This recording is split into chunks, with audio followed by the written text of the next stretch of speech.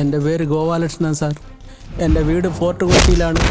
ഞാനൊരു retired government എംപ്ലോയിയാണ് sir. എനിക്കൊരു മകളും ഒരു മകനുമാണ്. എന്റെ മകൻ ഒരു സോഫ്റ്റ്വെയർ കമ്പനിയിൽ ജോലി ചെയ്യുകയായിരുന്നു. ഒരു വർഷത്തിന് മുമ്പ് ഒരു ആക്സിഡന്റിൽ അവൻ മരിച്ചുപോയി സാർ. അവന്റെ കമ്പനിയിൽ നിന്ന് കോമ്പൻസേഷനായിട്ട് അഞ്ച് ലക്ഷം രൂപ കിട്ടി. അതിന്റെ കൂടെ എനിക്ക് പി എഫിൽ നിന്ന് കിട്ടിയ പൈസയും ചേർത്ത് ഞാൻ ഫോർട്ട് കൊച്ചിയിൽ കുറച്ച് സ്ഥലം വാങ്ങി. അതിലൊരു വീടും വെച്ചു സാർ. എന്റെ വീട്ടിന്റെ അടുത്തായി ജയ്ഷു എന്നൊരു ബിൽഡർ പുതുതായി ഒരു കോംപ്ലക്സ് കെട്ടിക്കൊണ്ടിരിക്കുന്നു സാർ. അവന്റെ കോംപ്ലക്സിന് കുറച്ചുകൂടി സ്ഥലം ആവശ്യം വന്നതുകൊണ്ട് എന്നോട് വീട് ഒഴിഞ്ഞു പോകാനായിട്ട് ദിവസവും അവൻ ശല്യം ചെയ്യുകയാണ് സാർ. എനിക്ക് ഭയങ്കരമായിട്ട് പേടിയാവുന്നു സാർ.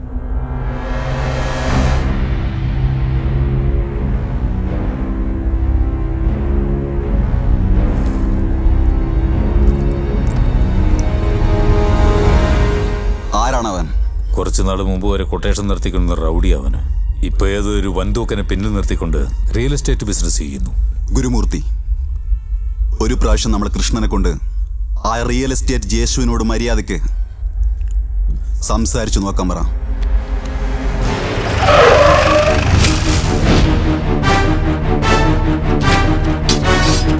ഡേയ് ഏട്ടൻ വളരെ മര്യാദയോടുകൂടി സംസാരിക്കാനാണ് പറഞ്ഞിരിക്കുന്നത് ആ ഇതൊന്നും വേണ്ട.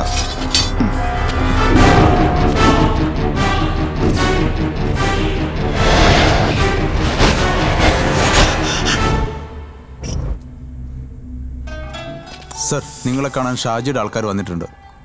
ഷാജിയുടെ ആൾക്കാരല്ലേ? വരാൻ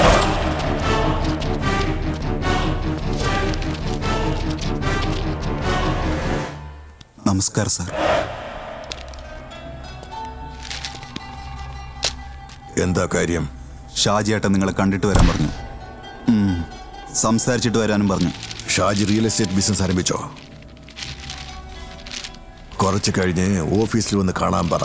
നല്ല സ്ഥലം നോക്കി വാങ്ങിച്ചുതരാം സാർ സഭാപതി നിങ്ങളെപ്പോലെ പണക്കാരനൊന്നുമല്ല. പാവപ്പെട്ടവനാ. അത് മനസ്സിലാക്ക്. സഭാപതിയുടെ വീടിനെ വിട്ടേക്ക്.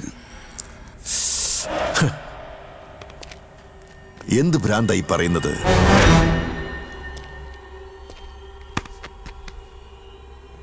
വിൽക്കുന്നത് അവൻ സ്ഥലം വാങ്ങുന്നത് ഞാൻ. നടുവിൽ നിനക്കെന്താ കാര്യം? കുറച്ചു കാലം മുമ്പ് ഫോർട്ട് കൊച്ചിയിൽ ഞാനും കത്തിയൊക്കെ പിടിച്ച് നടന്നവനാ. എന്നാലേ ഇപ്പൊ ഡീസെന്റ് ആയിട്ട് റിയൽ എസ്റ്റേറ്റ് ബിസിനസ് നടത്തിക്കൊണ്ടിരിക്കുകയാണെന്ന് മനസ്സിലാക്ക്. അങ്ങനെയാണെങ്കിൽ ആ നല്ല മനുഷ്യന്റെ വീട് നിങ്ങൾ വിട്ടുകൊടുക്കില്ല അല്ലേ? വെയിലത്ത് വേർത്ത് കുളിച്ച് വന്നതല്ലേ? താഴെ ഞങ്ങളുടെ പണിക്കാർ ഭക്ഷണം കഴിച്ചുകൊണ്ടിരിക്കുന്നുണ്ട് നിങ്ങൾ അവിടെ ചെന്ന് എന്റെ പേരും പറഞ്ഞ് കുറച്ച് ഭക്ഷണം കഴിച്ചിട്ട് പൊയ്ക്കോ. വേണ്ട സാർ. ഞങ്ങൾ പോവാണ്. നിങ്ങളെപ്പോലത്തെ നാല് കൊച്ചു പിള്ളേര് വന്ന് സംസാരിച്ചാലൊന്നും എന്നെ ഒന്നും ചെയ്യാൻ പറ്റില്ല. പോടാ. ഷാജിയേട്ടൻ എപ്പോഴും ഒരു കാര്യം പറയാറുണ്ട്. ആരുടെങ്കിലും അടുത്ത് ഒരു ഉരുള ചോറ് വാങ്ങി കഴിച്ചാൽ മരിക്കുന്നത് വരെ അവരോട് നന്ദിയും വിശ്വാസവും ഉണ്ടായിരിക്കണമെന്ന്.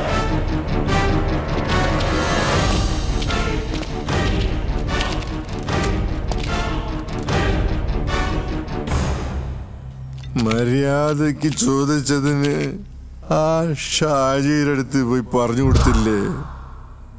ഇപ്പൊ ഞാൻ നിന്നെ അടിക്കാൻ പോവാ. നീ ആരെടുത്തടാ പോയി പറയാ? ആ ദൈവം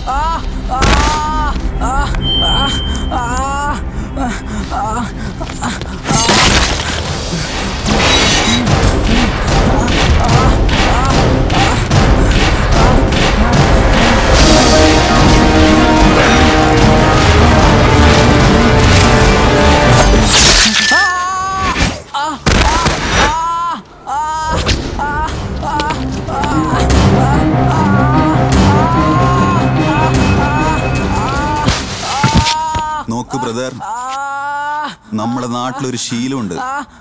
പറഞ്ഞാ കേൾക്കാത്തവൻ ശത്രുവാണെങ്കിൽ കൂടി ആദ്യം മര്യാദയ്ക്ക് പറഞ്ഞു നോക്കും. അനുസരിക്കാതെ നിന്നെ പോലെ അഹങ്കാരം കാണിച്ചു എന്ന് വെച്ചാ നായ വരട്ടി വരട്ടിയ നടു റോട്ടിൽ അടിച്ചു കൊല്ലുന്നത് പോലെ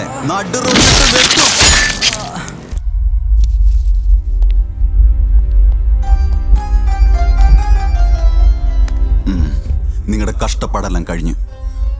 സന്തോഷത്തോടെ പോയി. നിങ്ങൾ വീട്ടിൽ താമസിച്ചു. ഈ ഉപകാരം ഒരിക്കലും മറക്കില്ല. അതൊന്നും വേണ്ട. ചെല്ലേ. ഞാൻ പോയിട്ട് വരാം സാർ.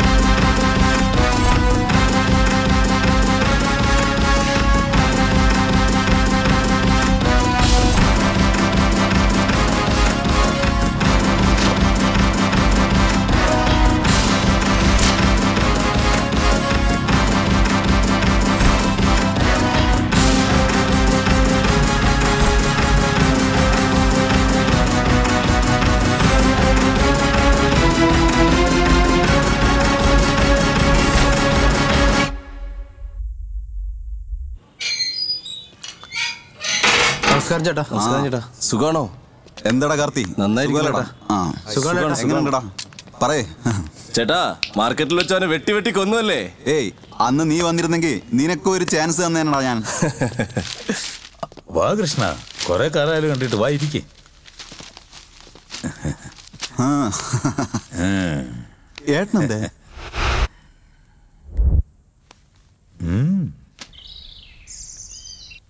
ആരാ ഫോണിൽ? നീ ആ ജയ്സുവിനെ തട്ടിയില്ലേ. അവന്റെ മാമനാ ഫോണിൽ. പറയ് ശശിധരൻ പിള്ളേ. എന്താ ഷാജി ഇങ്ങനെയൊക്കെ പറയുന്നേ? അവൻ എന്റെ ചേച്ചിയുടെ മകനല്ലേ. അവനെ റൗഡിസത്തിൽ നിന്നൊക്കെ മാറ്റിയെടുത്ത് ഇവിടെ കൊണ്ടുവന്ന് ബിസിനസ്സും പഠിപ്പിച്ച് ഞാൻ അതൊക്കെ കുറേശ്ശെ ഡെവലപ്പ് ചെയ്ത് കൊണ്ടുവരുമായിരുന്നു നിങ്ങളുടെ ആളുകൾ ഒരു കാരണവുമില്ലാതല്ലേ അവനെ കൊന്നുകളഞ്ഞത്? നമ്മുടെ ഫോർട്ട് കൊച്ചിയിൽ കാരണമില്ലാതെ ആരും ആരെയും കൊല്ലാറില്ല ശശിധരൻ പിള്ളേ. അത് നിനക്കും നന്നായിട്ട് അറിയാം. അവൻ എന്തെങ്കിലും തെറ്റ് ചെയ്തിരുന്നെങ്കിൽ ഒരു പ്രാവശ്യം ഒരു പ്രാവശ്യമെങ്കിലും എന്നോട് പറയാമായിരുന്നില്ലേ ഷാജി? ഞാൻ അവനെ കൺട്രോൾ ചെയ്യുമായിരുന്നല്ലോ എല്ലാം കൈവിട്ടുപോയി. ഒരുത്തനെ തട്ടേണ്ട സാഹചര്യം വന്ന ഞാൻ ഒരുത്തനോടും ഫോൺ വിളിച്ച് അനുവാദം ചോദിക്കാറില്ല. നടന്ന സംഭവത്തെ വീണ്ടും ഓർത്ത് നിന്റെ മനസ്സ് വെറുതെ മോശമാക്കണ്ട. ദേ നോക്ക്.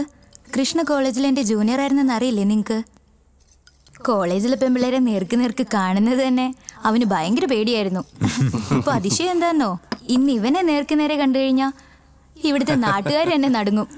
അല്ല കൃഷ്ണ ഇതിനു മുമ്പ് ഈ കഥ കേട്ടിട്ടേ ഇല്ലല്ലോ. ശരി പാവം അവനെ വിട്ടേ ഡേയ് കൃഷ്ണ അജയ്സുവിന് എന്തിനാണ് കൊന്നത് ആരോട് ചോദിച്ചിട്ടാണ് കൊന്നത്? നമ്മുടെ ഗ്രൂപ്പിൽ അവനെ ചേർക്കാൻ എത്ര വർഷമായി ഞാൻ ട്രൈ ചെയ്യുന്നു അറിയുമോ? എന്നാൽ ഈ വിജയ് അവനെ കൊന്നു കളഞ്ഞു ആരോടും ചോദിക്കാതെ. ആരോട് ചോദിച്ചിട്ടാ നീ അവനെ കൊന്നേ?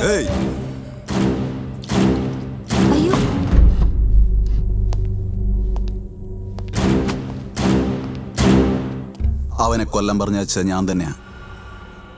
നമ്മുടെ ബലം ഒരുത്തിനെ ചേർക്കുന്നതിലൂടെ വളരാറില്ല. നമ്മളെ എതിർക്കുന്നവനെ മേൽപോട്ട് അയച്ചാൽ മാത്രമേ വളരൂ. വായടച്ചിട്ടുള്ളിപ്പോ ഈ കൃഷ്ണ അല്പം ഓവർ പോ.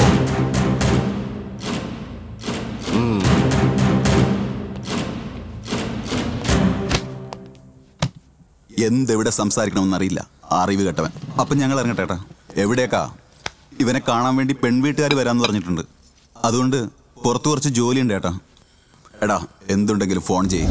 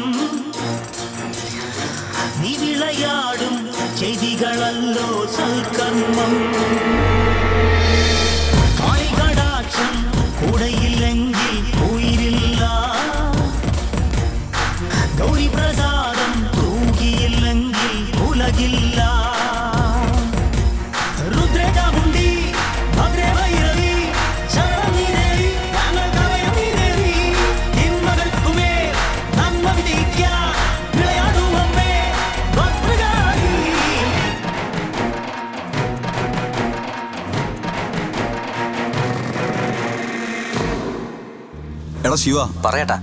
നീ എവിടെടാ? അത് ആ ഞാൻ വെളിയിലാണ് ഏട്ടാ. നിന്റെ ചേട്ടത്തി കെയർ ബേക്കറിയിൽ കുറച്ച് സ്വീറ്റ്സ് ഓർഡർ ചെയ്തിട്ടുണ്ട്. നീ വരുമ്പോ അത് വാങ്ങിയിട്ട് വാ. ആ ശരി ഏട്ടാ.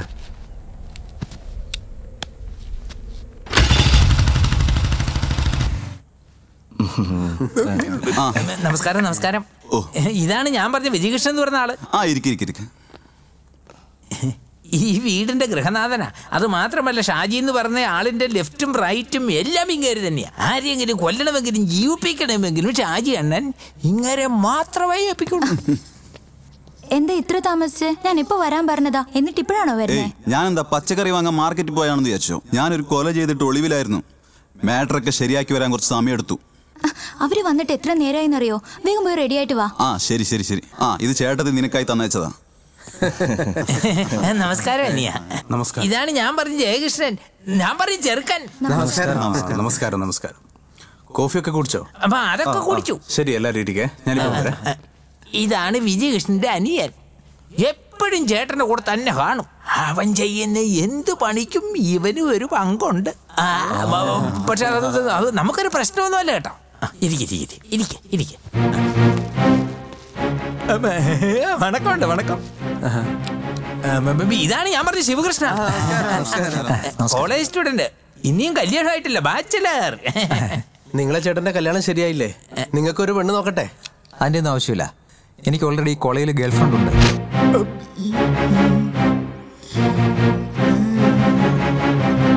കല്യാണം എന്നത്തേക്ക് വെക്കാം? നിങ്ങൾ എപ്പോ പറയുന്നോ? മുഹൂർത്തം എപ്പോഴാണോ അപ്പൊ വെച്ചേക്കാം. ആ അങ്ങനെയെങ്കിൽ മുഹൂർത്ത തീയതി കുറിച്ചിട്ട് നിങ്ങളെ ഞങ്ങൾ അറിയിക്കാം. ആ, എന്നാ ശരി പോയിട്ട് വരും. ഏ ശിവ ആരാടാ പെണ്ണ്? ഗീതാഞ്ജലി.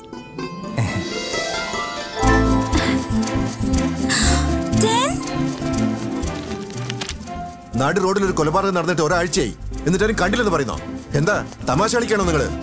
കൊലപാതകം ചെയ്ത് ആരാണ് നിങ്ങൾക്കും അറിയാം എനിക്കും നന്നായിട്ട് അറിയാം ഇതിനു മുമ്പ് ഇരുന്ന് ഓഫീസറെ പറ്റിച്ചതുപോലെ എന്നെ പറഞ്ഞ് പറ്റിക്കാനും നിങ്ങൾ വിചാരിക്കണ്ട. സംഭവം നടന്ന സ്ഥലത്തുള്ള എല്ലാ ആൾക്കാരെയും അറസ്റ്റ് ചെയ്ത് സ്റ്റേഷനിൽ കൊണ്ടുപോവാ ഒരു മണിക്കൂർ കഴിഞ്ഞ് ഞാൻ വരാം.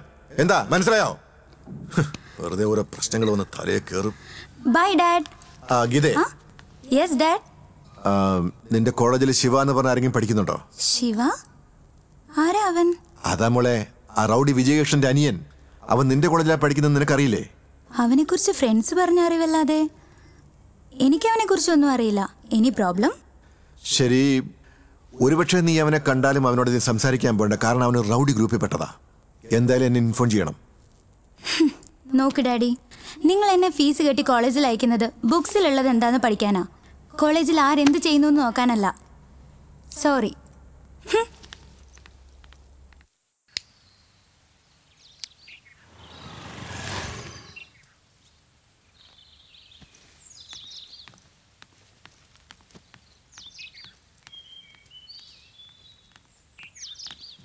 ഡാ നീ എന്താടാ വിചാരിച്ചിരിക്കുന്നേ?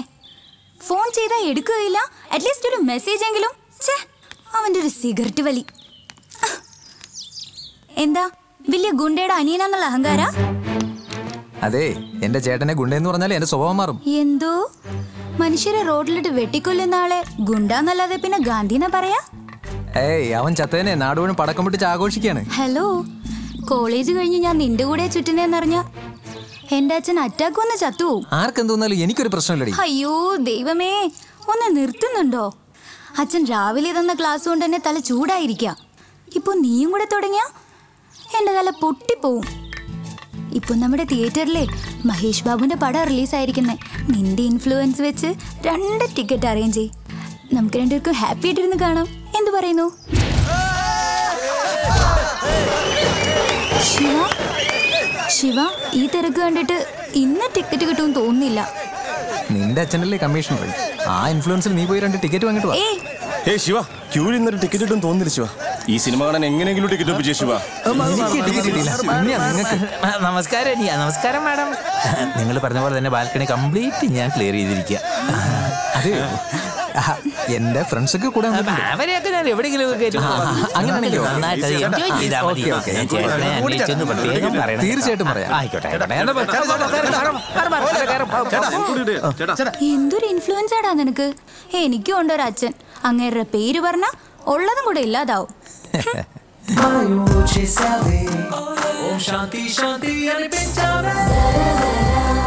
ശിവ നിന്റെ കൂടെ ഒറ്റയ്ക്കിരുന്ന് ഇങ്ങനെ ഫിലിം കാണുമ്പോ എന്തൊരു എന്തൊരു ഫീലിംഗ് ആണെന്നറിയോ?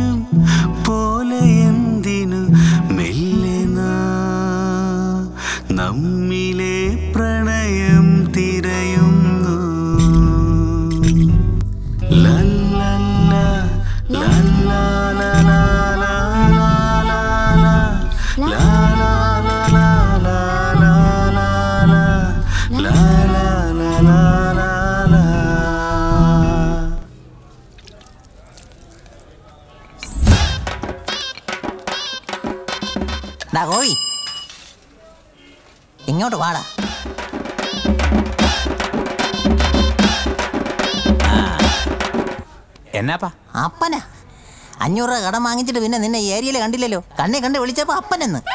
കൊഴുപ്പ് കൂടിയാ. ഇവന് നല്ല ഓർമ്മയാണല്ലോ. ഇപ്പൊ എന്നാ പറയുക അവനോട്? ഞാൻ പറയുന്നത് മാമ. എന്താ മാമനെന്നോ? എന്റെ പേര് വീരഭദ്ര ദുർഗുണ പരപരമ എന്താ മാമനെന്ന് വിളിക്കുന്നു? ഓക്കെ. നാട്ടിൽ തേങ്ങ കച്ചവടം നടത്തിക്കൊണ്ടിരുന്നവര് പോട്ട് കൊച്ചി വന്ന് മുറുക്കാൻ കട തുടങ്ങി മുറുക്കാൻ കൊടുക്കുന്നില്ലേ? അതുകൊണ്ടാണ് ഞാൻ അങ്ങനെ വിളിച്ചത്. നിങ്ങൾക്ക് ഇഷ്ടമായില്ലെങ്കിൽ ഞാൻ ഇംഗ്ലീഷിൽ വിളിക്കാം. വിളിച്ചോ? അങ്കിൾ. അങ്കിൾസ്. അത് കൊള്ളാം സൂപ്പർ ആയിട്ടുണ്ടല്ലോ അത് മതി. അത് ശരി. അഞ്ചു മാസമായിട്ട് നിന്നെ കാണാൻ കിട്ടിയില്ലല്ലോ എവിടെ പോയി? ഞാൻ രഹസ്യം പറഞ്ഞ ആരോടും പറയല്ലോ. പറയില്ല പറയി. കോട്ടയം കുഞ്ഞച്ചനെ തീർത്ത് അറിയാവല്ലോ. രണ്ട് പീസായി വെട്ടിക്കളഞ്ഞു. അതിന്റെ സ്കെച്ച് ഇട്ടത് എന്റെ തലയിലാ. അങ്ങനെയാണോ? അത് ഷാജി എണ്ണം ചെയ്തല്ലേ കൊന്നത് ഷാജിയാ. പക്ഷെ സ്കെച്ച് ഇട്ടത് ഞാനാ. സ്കെച്ച് എന്ന് പറഞ്ഞാ എന്താ. നമുക്കിപ്പോ ഒരു തന്നെ തട്ടണമെന്ന് വെച്ചു. അവൻ എപ്പോൾ ഉറങ്ങും എപ്പം ഭക്ഷണം കഴിക്കും അടിച്ചാൽ അവൻ എത്രത്തോളം ഓടും അടിച്ചാൽ അവൻ തിരിച്ചടിക്കോ എത്ര കുത്തു കുത്തിയാൽ അവൻ ചാവും. ഇത്യാദി കാര്യങ്ങളെല്ലാം പ്ലാൻ ചെയ്യുന്നതാണ് സ്കെച്ച് എന്നാ ദൈവമേ സ്കെച്ച് എന്നാ തിരുപ്പതി പോയി മുട്ടയടിക്കുന്ന പോലെ ഈസി ആണെന്നാ വിചാരിച്ചത്. ഇത്രയും പാടുള്ള പണിയാണോ? ഏല. ഈ വെറ്റിലുണ്ടെന്ന് കരുതി മുറുക്കാൻ പറ്റിയാല കത്തി ഉണ്ടെന്ന് വിചാരിച്ച് എല്ലാവർക്കും കൊല്ലാൻ പറ്റിയാല എല്ലാത്തിനും സ്കെച്ച് വേണം ഇവിടെ സ്കെച്ച് ഇപ്പൊ മനസ്സിലായില്ലേ? പിന്നെ. ശരി ഒരു അഞ്ഞൂറ് താ. നീ തരാനുള്ള അഞ്ഞൂറ് നിന്റെ കയ്യിലുണ്ടല്ലോ അതെടുത്തോ. ആ, എന്താ? കളിയാക്കുക സ്കെച്ച് ഇടണോ? വേണ്ട വേണ്ട. ഉം. ആ, അല്ല ഈ പൈസ എപ്പോഴും തരും. പുതിയൊരു സ്കെച്ച് ഇട്ടിട്ടുണ്ട്. അതിന്റെ പേയ്മെന്റ് കിട്ടുമ്പോൾ തരാം. പേയ്മെന്റ് എപ്പോഴും വരും. നമസ്കാരം ഷാജി അണ്ണ. ആ, ഓ ഏ, ഷാജിയോ. ഏ? ഷാജിയും പോയി ഇവനും പോയി.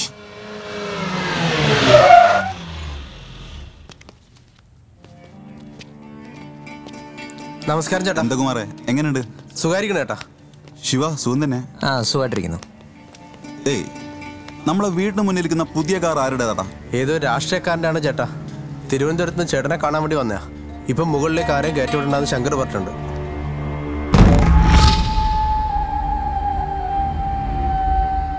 കാര്യം ഇത്രയേ ഉള്ളൂ ഷാജി സാർ. മേൽത്തട്ടിലെ എല്ലാ കാര്യങ്ങളും ഞാൻ ശരിയാക്കി കഴിഞ്ഞു. ഇപ്പൊ ഇവിടുന്ന് ഒരു സമ്മതം മൂളിയാൽ മാത്രം മതി. അതോടെ എല്ലാ പ്രശ്നങ്ങളും ക്ലിയർ ആവും.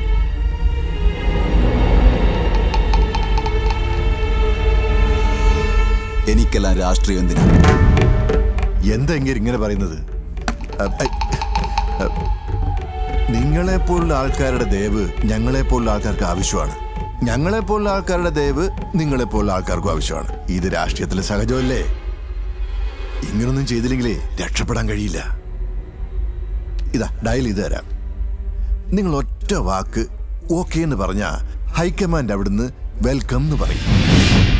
ഹൈക്കമാൻഡ് അവിടുന്ന് വെൽക്കം എന്ന് പറഞ്ഞു കഴിഞ്ഞാൽ ഈ ജില്ല തന്നെ ഞെട്ടിക്കുന്ന വിധത്തിൽ ഒരു മഹാസമ്മേളനം വിളിച്ചുകൂട്ടി ഞാൻ തന്നെ മുമ്പിൽ നിന്നുകൊണ്ട് നിങ്ങൾ രാഷ്ട്രീയ പ്രവേശനം സ്വാഗതം ചെയ്യും എന്ന് പറഞ്ഞു സാർ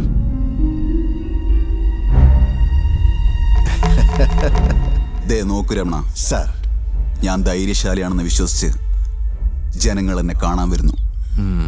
അതേ ജനങ്ങളോട് പോയി നിങ്ങളാണ് എന്റെ ധൈര്യം എന്ന് പറഞ്ഞ അവർക്ക് എന്നിൽ ഒരു തെറ്റിദ്ധാരണയ്ക്ക് കാരണമാവും. എനിക്ക് ജനങ്ങൾക്ക് നല്ലത് ചെയ്യണമെന്ന് തോന്നിയ കത്തിയോ കോടാലിയോ ഇതുപോലുള്ള തോക്കിനെയെ ഞാൻ വിശ്വസിക്കൂ. പാർട്ടിയെയോ അവരുടെ കൊടിയെയോ അല്ല. എന്നെ കാണാൻ വേണ്ടി വളരെ ദൂരത്തുനിന്നാ വന്നിരിക്കുന്നത് പുറപ്പെടുക അതല്ല സാർ ഞാൻ പറഞ്ഞു വരും പോടാ.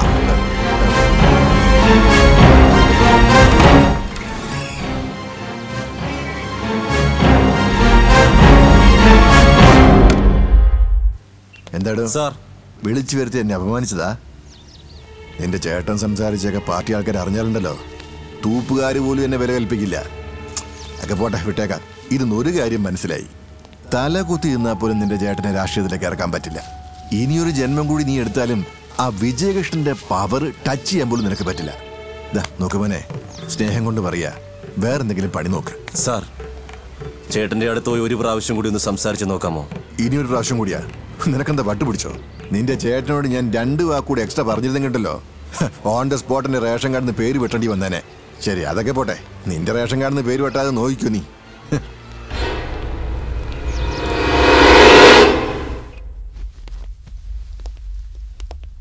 ചേട്ടൻ ഏതോ മീറ്റിങ്ങിലാണെന്ന് പിള്ളേർ പറഞ്ഞു. അതൊരു വേസ്റ്റ് മീറ്റിംഗ്. ശിവ. അനിയന്റെ കല്യാണത്തിന് നിങ്ങൾ രണ്ടാളും വരണം.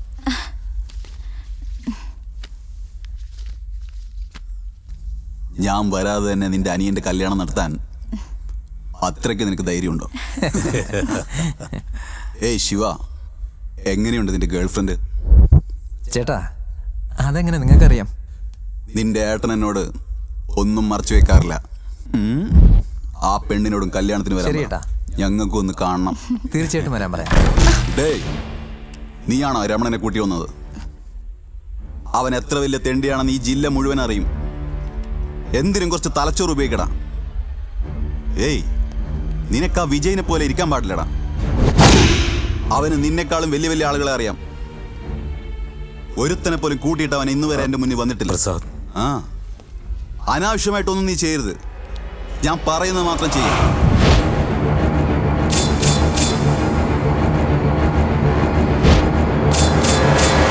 പോ. ഞാൻ സംസാരിക്കാം. നിങ്ങൾ ടെൻഷൻ ആവാതെ.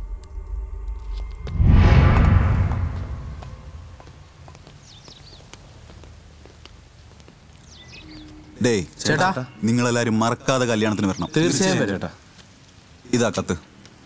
പോയിട്ട് വരാം. ഓക്കേ ചേട്ടാ. ഓക്കേ ചേട്ടാ. ആ ശങ്കറിനും ചേട്ടനും ഇടയിൽ എന്താ പ്രശ്നം? ഷാജിയേട്ടൻ എന്നെ വളരെ ഇഷ്ടമാണ് അതാണ് അവന്റെ പ്രശ്നം. അവൻ പേരിന് മാത്രം ഷാജിയേട്ടന്റെ അനിയനാ. പക്ഷെ ബുദ്ധിയിൽ അദ്ദേഹത്തിന്റെ പകുതി പോലും വരില്ല ശിവ. അവന് ചേട്ടനോടുള്ള സ്നേഹത്തെക്കാൾ ഷാജിയേട്ടന്റെ പവറിനോടാണ് ഇഷ്ടം. അതിനായി ഷാജിയേട്ടനെ രാഷ്ട്രീയത്തിലിറക്കാൻ നോക്കാവൻ ചേട്ടൻ ഈ കൊച്ചി വിട്ട് തിരുവനന്തപുരം പോയാ പവർ അവന് കിട്ടുമെന്ന ആഗ്രഹത്തിലവൻ. അപ്പോൾ ഈ കാര്യം ഷാജിയേട്ടൻ അറിയില്ലേ? ഷാജിയേട്ടന് നമ്മളെക്കാൾ കൂടുതൽ നന്നായിട്ട് അവനെ പറ്റി അറിയാം. ദേ നോക്ക് ശിവ ഞാനിപ്പോൾ പറഞ്ഞതെല്ലാം നീ ഇപ്പോഴേ ഇവിടെ വെച്ച് മറന്നേ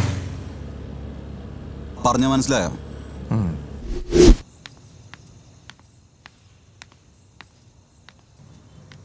എന്താ ശിവ സർ? നല്ല മൂഡിലാണെന്ന് തോന്നുന്നു. അതെ. വിഷയം എന്താന്ന് പറഞ്ഞ? ഞാനും കൂടെ സന്തോഷിക്കാം. മാരേജ് ഫിക്സ് ആയി. മാരേജോ ആർക്ക്? ഇതേ വേറെ ആരെങ്കിലും മാരേജ് ഫിക്സ് ആയ? അതിൽ എനിക്കെന്താ ഹാപ്പി ശിവ മര്യാദയ്ക്ക് പറയിപ്പോ മാരേജ് ആർക്കാ? ഏയ് എന്തിനാ നീ ചൂടാവുന്നേ? എനിക്കെന്താ കല്യാണം കഴിച്ചൂടെ? എനിക്ക് ഭ്രാന്ത് പിടിക്കുന്നുണ്ട്. മര്യാദയ്ക്ക് പറയേ. കല്യാണം ആർക്കാ? ആ പെണ്ണിനെ കണ്ട ആരായാലും കെട്ടിപ്പോവും. മാരേജ് എന്റെ ചേട്ടനാടി. എന്റെ ഫാമിലിയിൽ എല്ലാവരും നിന്നെ കാണണമെന്ന് ആഗ്രഹിച്ചിരിക്കുക ഇതുമാതിരി കൂതറ വേഷം ഇടാതെ. നല്ല അടിപൊളി ഡ്രസ് ഇട്ടുണ്ട് വാ. കേട്ടോടി?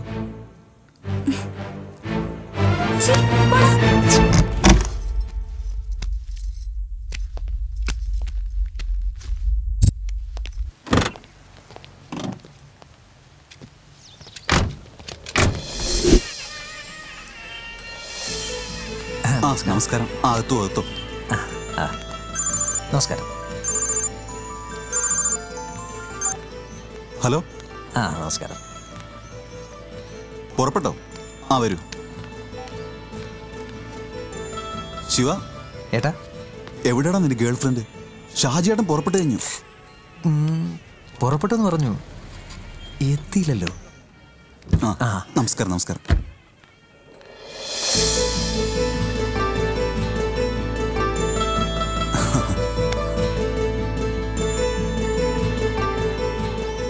നമസ്കാരം ചേട്ടാ. ആ നമസ്കാരം.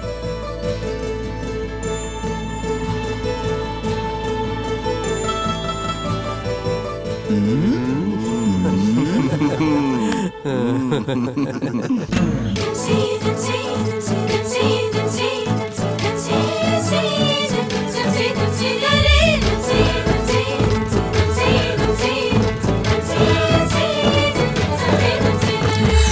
പഞ്ചവർണ കിളിപ്പെണ്ണിൻ കല്യാണ നാളിന്നല്ലേ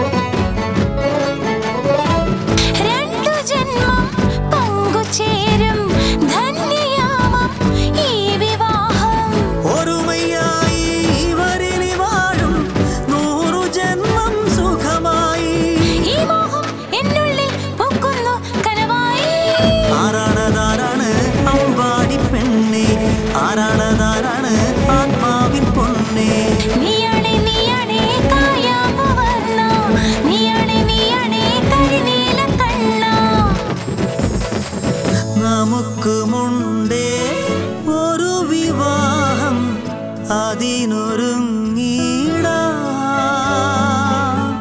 അതിനു മുൻപേ പ്രണയമേകാം മനസ്സൊരുക്കിടാം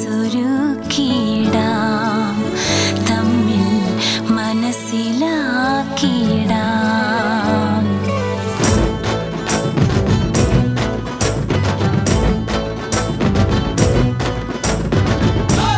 മാറി മാറി ഷാജിട്ടോ ഷാജി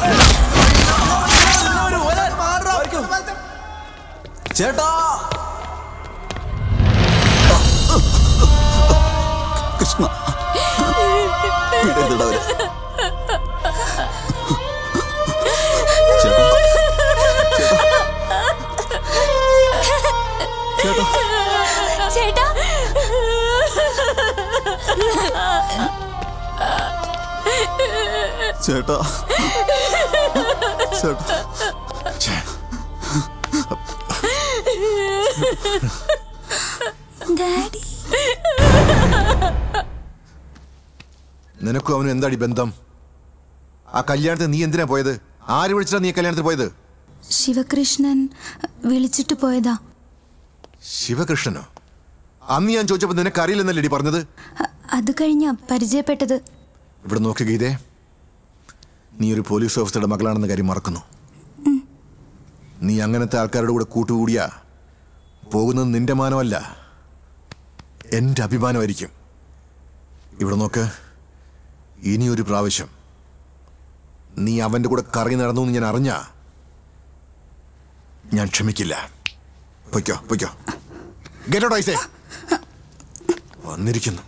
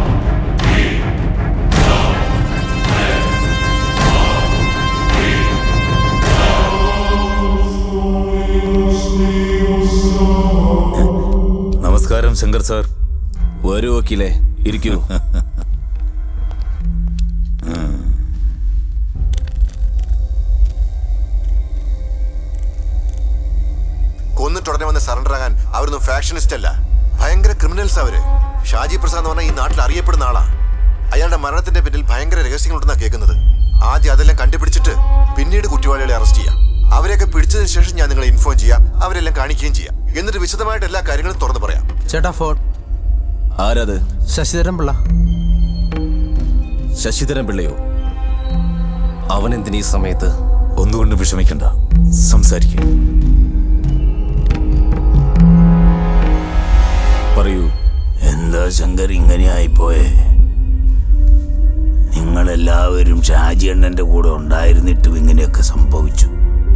അവരെ സംരക്ഷിക്കാൻ പറ്റിയില്ലല്ലോ. എത്ര വലിയ വിലക്കാരനായിരുന്നാലും എത്ര പണക്കാരനായിരുന്നാലും മരണം അവന്റെ മുമ്പിൽ വന്ന് നിൽക്കുമ്പോ ഒന്നും ചെയ്യാൻ പറ്റില്ല ശങ്കർ. നിങ്ങളുടെ പുതിയ നേതാവ് വിജയകൃഷ്ണനെ നന്നായിട്ട് സൂക്ഷിച്ചു ശങ്കർ.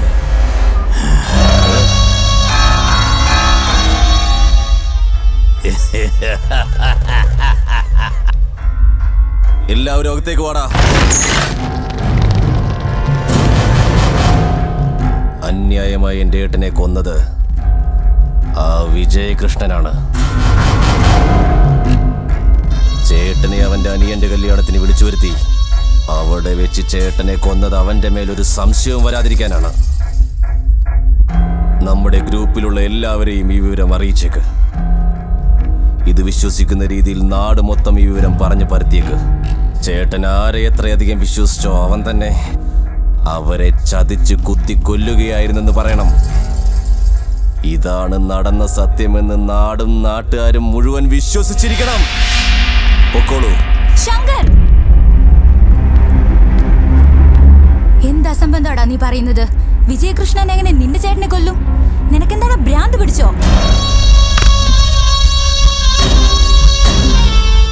ഈ ഫോർട്ട് കൊച്ചിയിലെ? ആരെ എപ്പോ എന്തിന് എങ്ങനെ എവിടെ വെച്ച് കൊലപ്പെടുത്തിയെന്ന് ആ ദൈവത്തിന് പോലും ഒരിക്കലും പറയാൻ കഴിയില്ല. പിന്നെയാണോ നമുക്ക്? നിന്റെ ചേട്ടന് നീ എങ്ങനെയാണോ? അതുപോലെ തന്നെയാ വിജയകൃഷ്ണനും. ചേട്ടൻ മരിച്ച ഷോക്കിൽ ഞാനാകെ ഭ്രാന്ത് പിടിച്ചിരിക്കുകയാണ്. ഇപ്പോ എനിക്ക് നിങ്ങളോട് സംസാരിക്കാൻ കഴിയില്ല. നിങ്ങൾ ഇപ്പൊ അകത്ത് പോ അകത്തേക്ക് പോകാൻ.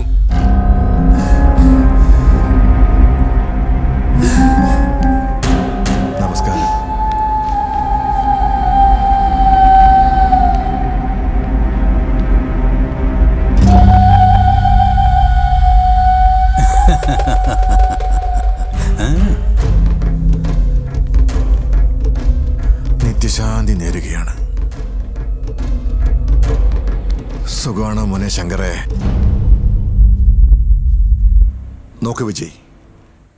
നടന്നതെല്ലാം നടന്നുപോയി. ഷാജി പ്രസാദിനെ കൊന്നത് നിങ്ങൾ അവരെയും അവർ നിങ്ങളെയും കൊന്നുകൊണ്ടിരുന്ന അത് കണ്ടുകൊണ്ടിരിക്കാൻ എന്നെ കൊണ്ട് പറ്റില്ല. ഇവരെന്തോന്നുണ്ടാക്കുമെന്ന് നിങ്ങൾ വിചാരിക്കണ്ട. നിന്നെ പോലുള്ള ആൾക്കാരെ എൻകൗണ്ടർ ചെയ്യാൻ എനിക്ക് വലിയ പ്രയാസമൊന്നുമില്ല. നിയമങ്ങളൊക്കെ മാറ്റിവെച്ച് ഒന്ന് പരിശ്രമിച്ചാൽ മതി. നിങ്ങളിൽ ഒരുത്തം പോലും ബാക്കിയുണ്ടാവില്ല.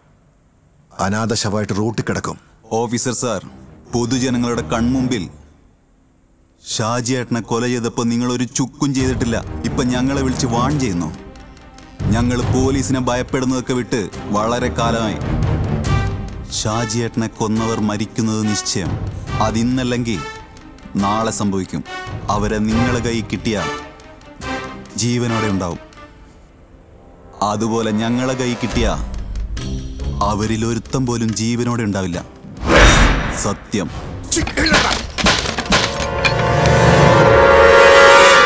ഞാനെന്താ ഒന്നിനും കൂടാത്തെന്ന് വിചാരിച്ചോ? ഞാൻ ഇത്രയും പറഞ്ഞ നിന്റെ തലേ കയറിയില്ലേ? ആക്ച്വലി നീയാ കൊന്നതെന്ന് ഈ നാട്ടിൽ സംസാരമുണ്ട്. എന്നിട്ട് നിന്നെ അറസ്റ്റ് ചെയ്യാത്ത എന്തുകൊണ്ടാണെന്നറിയോ? ഞങ്ങൾ നിയമം പാലിക്കുന്നവരായതുകൊണ്ടാ. നീ അനാവശ്യമായിട്ട് വന്ന് ഞങ്ങളുടെ കാര്യം തലയിടരുത്. ഓ ഗെറ്റ് വീണ്ടും കാണാം സാർ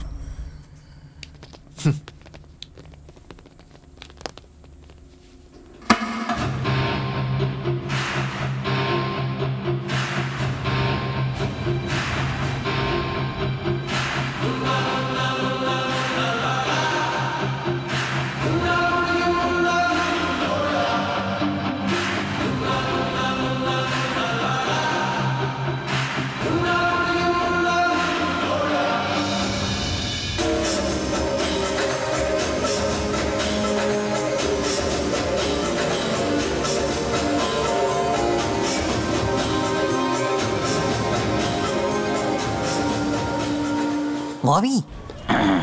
ഞാൻ. സ്കെച്ച് ഗോപി. എന്താ ഗെറ്റപ്പ് ഗോപി ഇത്? ആ, ഷാജിയെ കൊന്നതിന് ശേഷം എന്റെ റേഞ്ചേ മാറിപ്പോയടാ. ഷാജിയെ കൊല്ലാൻ വേണ്ടി നീയാണോ സ്കെച്ച് കൊടുത്തത്? നീ അധികം സംസാരിക്കണ്ട നിനക്കും ഞാൻ സ്കെച്ച് ഇടും. അപ്പൊ ഷാജിയെ കൊല്ലാൻ വേണ്ടി നീ തന്നെ സ്കെച്ച് അതെ. അപ്പൊ വേറെ ആരെയാ കൊല്ലാൻ വേണ്ടി ഷാജിയേട്ടന്റെ നിന്ന് കാശ് വാങ്ങിട്ട് സ്കെച്ച് കൊടുത്തത്? നീ? അതും ഞാൻ തന്നെയായിരുന്നു പക്ഷെ എന്താണ് പ്രശ്നം എന്ന് വെച്ചാൽ എന്നെ പോലെ സ്കെച്ച് ഇടുന്ന ആളിന് ആൾ ഭേദമുണ്ടാവില്ല. ആരാണോ പണം തരുന്നത് അവന്റെ ശത്രുവിനെ സ്കെച്ച് ഇടും. ഓ ഇത്രയും സ്കെച്ച് പെൻ മാലയായിട്ട് ഇട്ടിരിക്കുകയാണല്ലോ. സ്കെച്ച് പെന്നിന്റെ പിന്നിൽ സ്റ്റോറി ഉണ്ട് എന്താ? ഇതിൽ നിന്നും ഗ്രീൻ സ്കെച്ച് എടുത്താൽ ഒരുത്തന്റെ കൈ പോകും. ഇതിൽ നിന്ന് ബ്ലാക്ക് സ്കെച്ച് എടുത്താൽ ഒരുത്തന്റെ കാൽ പോകും. ഇതിൽ നിന്നും റെഡ് സ്കെച്ച് എടുത്താൽ അവന്റെ തല തന്നെ പോകും. അപ്പൊ ഗോപി നിന്റെ റേഞ്ച് കൂടിയല്ലോ.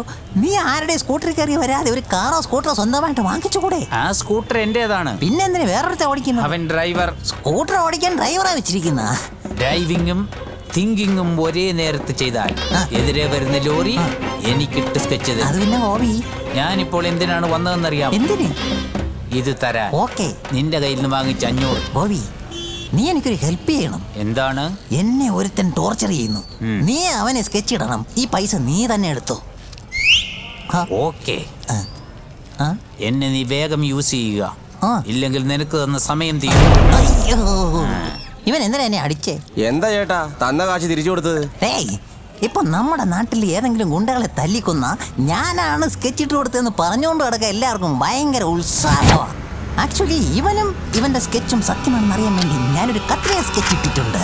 എന്താ ചേട്ടാ അത്? അങ്കിൾ സ്കെച്ച്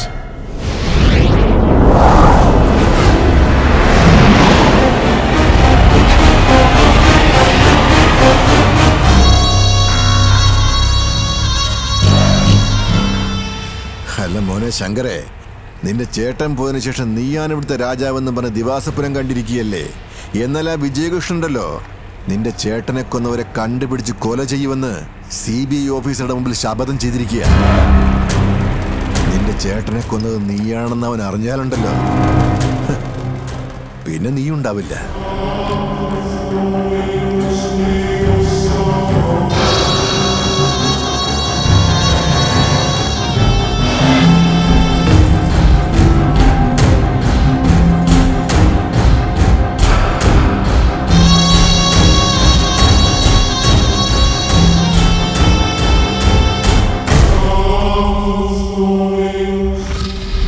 നിനക്കെങ്ങനെ അറിയാവോ എന്റെ ഏട്ടനെ ഞാനാ കൊല ചെയ്യിച്ചതെന്ന്?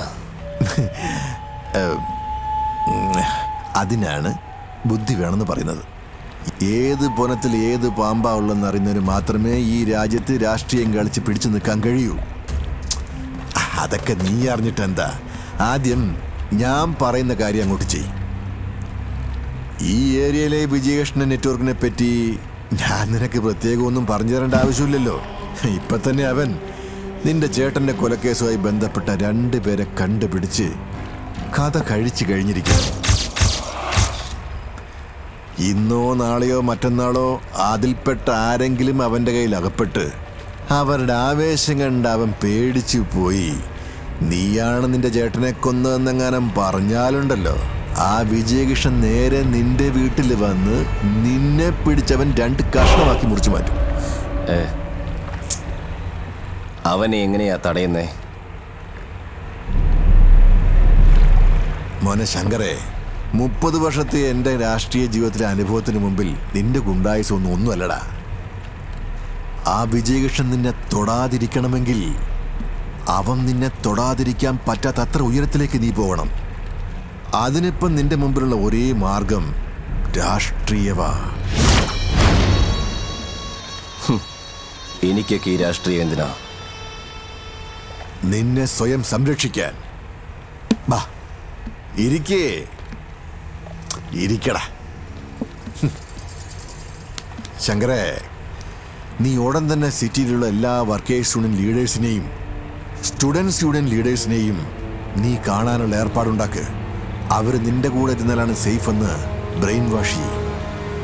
സമ്മതിച്ച സപ്പോർട്ട് ചെയ്യ്. അല്ലെങ്കിൽ വാൺ ചെയ്യ്. എല്ലാ അവന്മാരും നിന്റെ കൈക്കുള്ളിലായിരിക്കണം. പിന്നൊരു നല്ല ദിവസം നോക്കി നമുക്ക് സ്കെച്ച് ചെയ്യാം. ജാതി പ്രശ്നമോ രാഷ്ട്രീയ പ്രശ്നമോ വെച്ച് നമുക്ക് ഒരു വലിയ ലഹള അങ്ങോട്ട് ഉണ്ടാക്കിവിടാം ഇതിന്റെ മറവിൽ നമുക്ക് ഒരു ഇരുപത് ബസ് അങ്ങോട്ട് കത്തിച്ചേക്കാം. കണ്ണു കണ്ട കടകളെല്ലാം അടിച്ചു നുറുക്കണം. ഇതെല്ലാം ചെയ്തതും ചെയ്യിച്ചതും നീയാണെന്ന് ടി വി ചാനലുകാരെ കൊണ്ട് ഒരു വാക്ക് പറയിപ്പിച്ചാൽ മതി. തലസ്ഥാനത്ത് നമ്മളെ പാർട്ടി ഓഫീസിൽ അണികളുടെ പ്രളയമായിരിക്കും. ഒരു വലിയ സ്ഥാനം നിന്നെ തേടി നിന്റെ കാൽക്കീഴിൽ വന്ന് വീഴും. അവിടുന്ന് നമുക്ക് തുടങ്ങാം. ഇവന്റെ രാഷ്ട്രീയ പ്രവേശനം. എന്തു പറയുന്നു? പിന്നെ നോക്കിക്കോ. ഈ ഏരിയയിലെങ്കിലും ഒരു മനുഷ്യനും നിന്നെ തൊടാൻ കഴിയില്ല.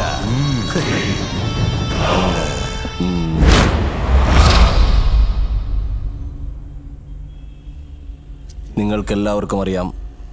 ചേട്ടൻ ജീവനോടെ ഇരുന്നപ്പോൾ നിങ്ങളെ എല്ലാവരെയും കൂടപ്പിറപ്പിനെ പോലെയായിരുന്നു കരുതിയിരുന്നത്. അങ്ങനെയുള്ള എന്റെ ഏട്ടനെ കൊന്ന് നമ്മളെ എല്ലാവരെയും അനാഥരാക്കിയിരിക്കുകയാണ് വിജയകൃഷ്ണൻ. വിഷമിക്കണ്ട. നിങ്ങളുടെ കൂടെ ഞാനുണ്ട്. നിങ്ങളെല്ലാവരും നന്നായി ജീവിക്കുന്നതിന് വേണ്ടി ആവശ്യം വന്ന നിങ്ങളുടെ എല്ലാ യൂണിയൻ സപ്പോർട്ടോടു കൂടി ഞാൻ രാഷ്ട്രീയത്തിലേക്ക് ഇറങ്ങും. നിങ്ങളുടെ സപ്പോർട്ടോട് കൂടി ഞാൻ ജയിക്കും. അപ്പോ ആ സ്ഥാനം വെച്ച് നിങ്ങളുടെ യൂണിയന് വേണ്ടി ഞാൻ പൊരുതുകയും ചെയ്യും. എല്ലാ യൂണിയനെയും ഞാൻ പവർഫുൾ ആക്കും. ഇന്നു മുതൽ ഞാൻ വേറെ നിങ്ങൾ വേറെ എന്ന വ്യത്യാസമില്ല. നമ്മളെല്ലാവരും സഹോദരങ്ങൾ. ഇതാ നോക്ക് ശങ്കർ സാർ. നിങ്ങൾ രണ്ടുപേരും തമ്മിലുള്ള പ്രശ്നം ഞങ്ങൾക്ക് ആവശ്യമില്ലാത്തതാ. ഞങ്ങളെ സംബന്ധിച്ചിടത്തോളം ഞങ്ങൾക്ക് എന്തെങ്കിലും പ്രശ്നം വന്നാൽ ഷാജിയായിട്ട് അടുത്ത് വന്ന് പറയും. പറ്റിയാൽ അവരോ അല്ലെങ്കിൽ അവർക്ക് ഇഷ്ടപ്പെട്ട വിജയകൃഷ്ണനോ വന്ന് ഞങ്ങളെ സഹായിക്കാറുണ്ട്. ഇപ്പം നിങ്ങൾ പുതിയതായിട്ട് രാഷ്ട്രീയം എന്നൊക്കെ പറയുന്നു. ഷാജി ചേട്ടനെ വിജയകൃഷ്ണൻ കൊന്നു എന്ന് പറയുന്നത് നാട്ടിൽ വെറും സംസാരം മാത്രമാണ് സത്യം എന്താണെന്ന് അറിയുന്നത് വരെ ഞങ്ങളെ ഞങ്ങളെ വഴിക്ക് വിട്ടേക്കനിയ നിങ്ങളെന്തോ ചെയ്യാൻ പോകുമെന്ന് പറയുന്നല്ലോ. അത് ഞങ്ങൾ ഞങ്ങൾ ആൾക്കാരോട് കൂടെ ഒന്ന് ആലോചിക്കട്ടെ. ഏത് നല്ലതെന്ന് തോന്നുന്നോ അത് ചെയ്യാം. ഞങ്ങൾ വരുന്നത് ശരി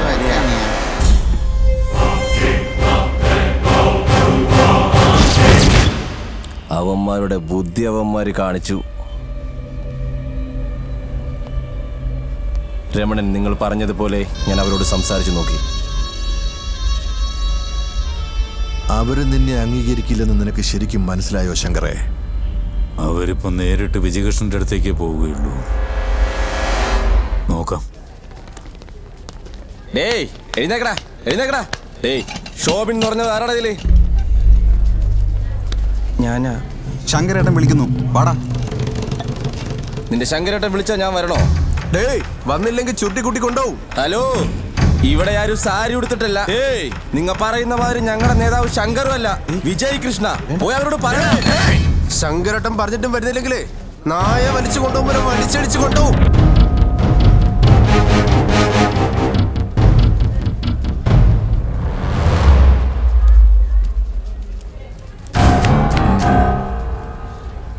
ക്യാമ്പസിൽ നിന്ന് പുറത്തു പോകും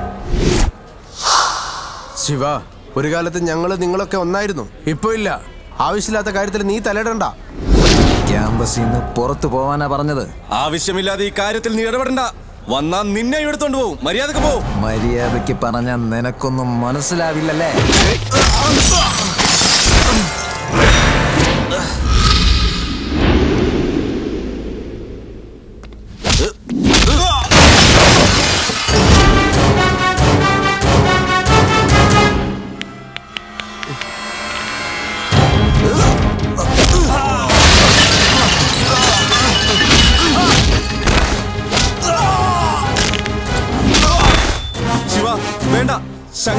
പ്രശ്നവും.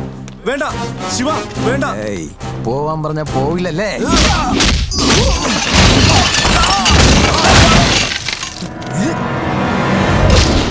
ഡേയ് അടിച്ച് കൊല്ലണം അവനെ.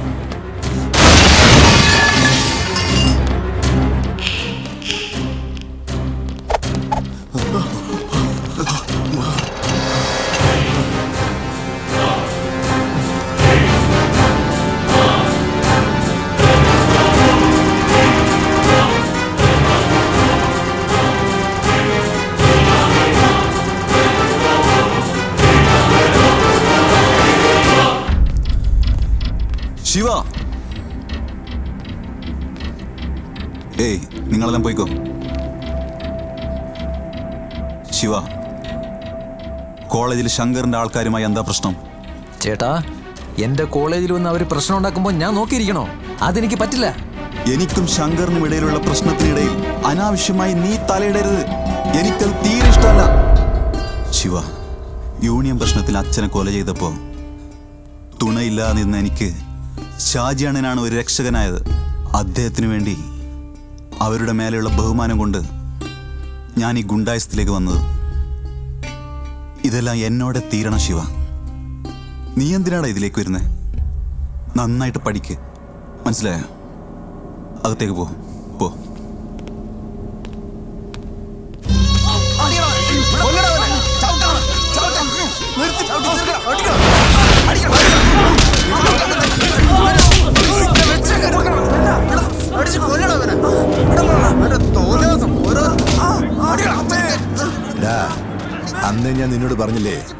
നിന്നെ അംഗീകരിക്കില്ലെന്ന്? ഇപ്പൊ നീ ഈ അടി അടിക്കുന്നുണ്ടല്ലോ. ചത്താ പോലും അവന്മാര് നിന്നെ അംഗീകരിക്കുന്നു പറയുന്നത് എനിക്ക് തോന്നുന്നില്ല. ഒരു രണ്ടു മൂന്ന് ദിവസത്തിനുള്ളിൽ ആ വിജയകൃഷ്ണൻ സ്റ്റുഡൻസ് ലീഡേഴ്സിനെ കണ്ടല്ലോ അവന്റെ ഭാഗത്തേക്ക് കൊണ്ടുവരും. അത് കഴിഞ്ഞാലേ നമുക്ക് രണ്ടുപേർ കൂടി ആ കുത്തിക്കുത്ത് ആനവരമ്പ് കല്ലേക്കുത്ത് കരിങ്കുത്ത് അതും കളിച്ചോണ്ടിരിക്കാം. അവന്മാർ ലേബേഴ്സാ നല്ല സ്ട്രോങ് യൂണിയനാ നിന്നോട് സംസാരിക്കുന്ന ഈ തൂണിനോട് സംസാരിക്കുന്നതാണ് നല്ലത്. എടാ ഒന്ന് വാഴത്തോന്ന് മറുപടി പറയടാ ആ വിജയൻ എന്തൊക്കെ ഒന്നും ചെയ്യും.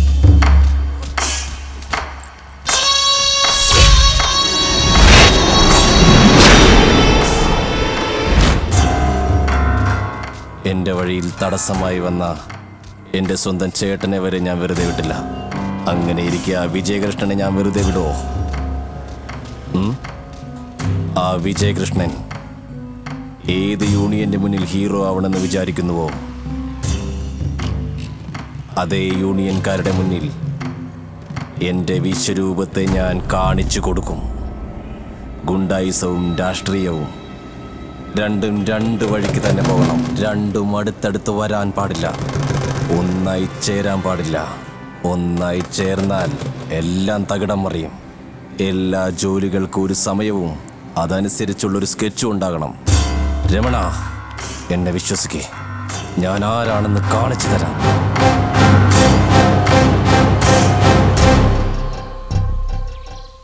ചേട്ടന്റെ ടെൻഷൻ കാണുമ്പോൾ എനിക്ക് വല്ലാതെ വിഷമം തോന്നുന്നു ഗീതേ. ഞാൻ എപ്പോഴും ചേട്ടന്റെ അടുത്ത് തന്നെ ഇരിക്കണമെന്ന് വിചാരിക്കുമ്പോൾ ചേട്ടൻ എന്നെ വിരട്ടി ഓടിക്കാൻ നോക്കുക അടുപ്പിക്ക് തോലുമില്ല. അതല്ല ശിവ നീ ആ പ്രശ്നത്തിൽ ഇൻവോൾവ് ആയ. ഒരുപക്ഷെ നീയും അവരെ പോലെ ആയാലോ എന്ന് ഭയന്നിട്ടായിരിക്കും അങ്ങനെ പറഞ്ഞത്. ഇല്ല ഗീതേ. ഷാജി ചേട്ടൻ മരിച്ചത് മുതൽ ചേട്ടന്റെ മനസ്സിന് ഒരു സമാധാനവും ഇല്ല. എപ്പോഴും എന്തെങ്കിലും ഒരു പ്രശ്നം. ചേട്ടനെ ഇതിനു മുമ്പ് ഞാൻ ഇങ്ങനെ കണ്ടിട്ടേ ഇല്ല ഗീതേ. ചേട്ടാ വിജയകൃഷ്ണൻ നാളെ കോളേജിൽ മീറ്റിംഗ് വെച്ചിട്ടുണ്ട്. ദേ ഇപ്പോഴൊക്കെ ഫോൺ വന്നേ. നീ പോയി ആ ബാബുവിനെ വിളിച്ചോണ്ട് വാ. എന്താ അത്യാവശ്യമായി വരാൻ പറഞ്ഞ? ഒന്നുമില്ല ബാബു. നിന്നെ കൊണ്ടൊരു കാര്യമുണ്ട്. ഞങ്ങൾ ആരെയാ തീർക്കേണ്ടത്? ഇത്തവണ ചെയ്യാൻ പോകുന്നത് വലിയൊരു സ്കെച്ചാണ്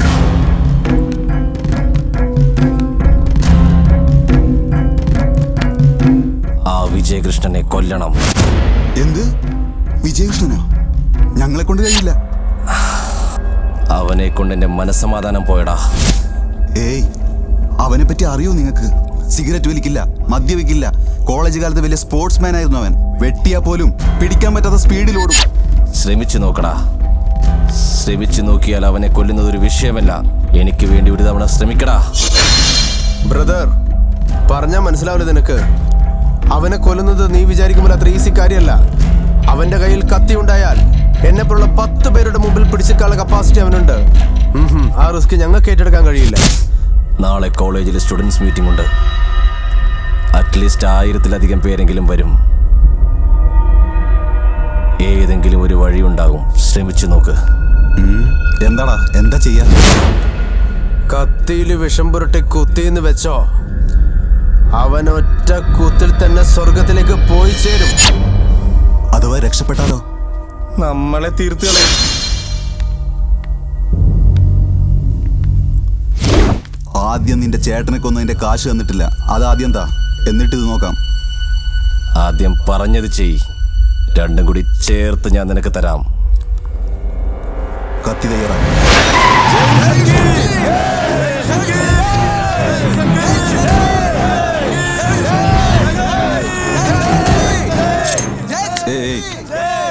ഈ രക്തമെല്ലാം നിന്റെ കുടുംബത്തിന് വേണ്ടി ചെലവാക്കും. അല്ലെങ്കിൽ നിന്നെ വിശ്വസിക്കുന്നവർക്ക് വേണ്ടി ചെയ്യും. എനിക്ക് വേണ്ടി ചെയ്യണം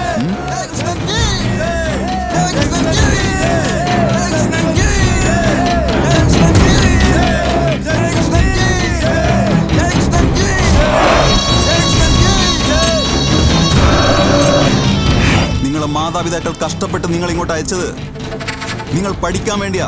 അല്ലാതെ ഏതോ ഒരുത്തിനെ നേതാവാക്കാനും അവന്റെ പിന്നാലെ ചുറ്റാനുമല്ല. നിങ്ങൾ യൂണിയൻ ഉണ്ടാക്കുന്നതും ഇലക്ഷൻ നടത്തുന്നതും ഓരോരുത്തരെ ജയിപ്പിക്കുന്നതും ഇതെല്ലാം നിങ്ങളെ പ്രശ്നങ്ങൾ നിങ്ങൾ തന്നെ തീർക്കാനാണ്. ഈ നാട്ടിൽ എന്തെങ്കിലും പ്രശ്നം ഉണ്ടാക്കാനും ബസ് കത്തിക്കാൻ വേണ്ടിയോ ആ ശങ്കറിന്റെ ആൾക്കാർ ഉപയോഗിക്കുന്നത് നിങ്ങൾ മാത്രമാണ്.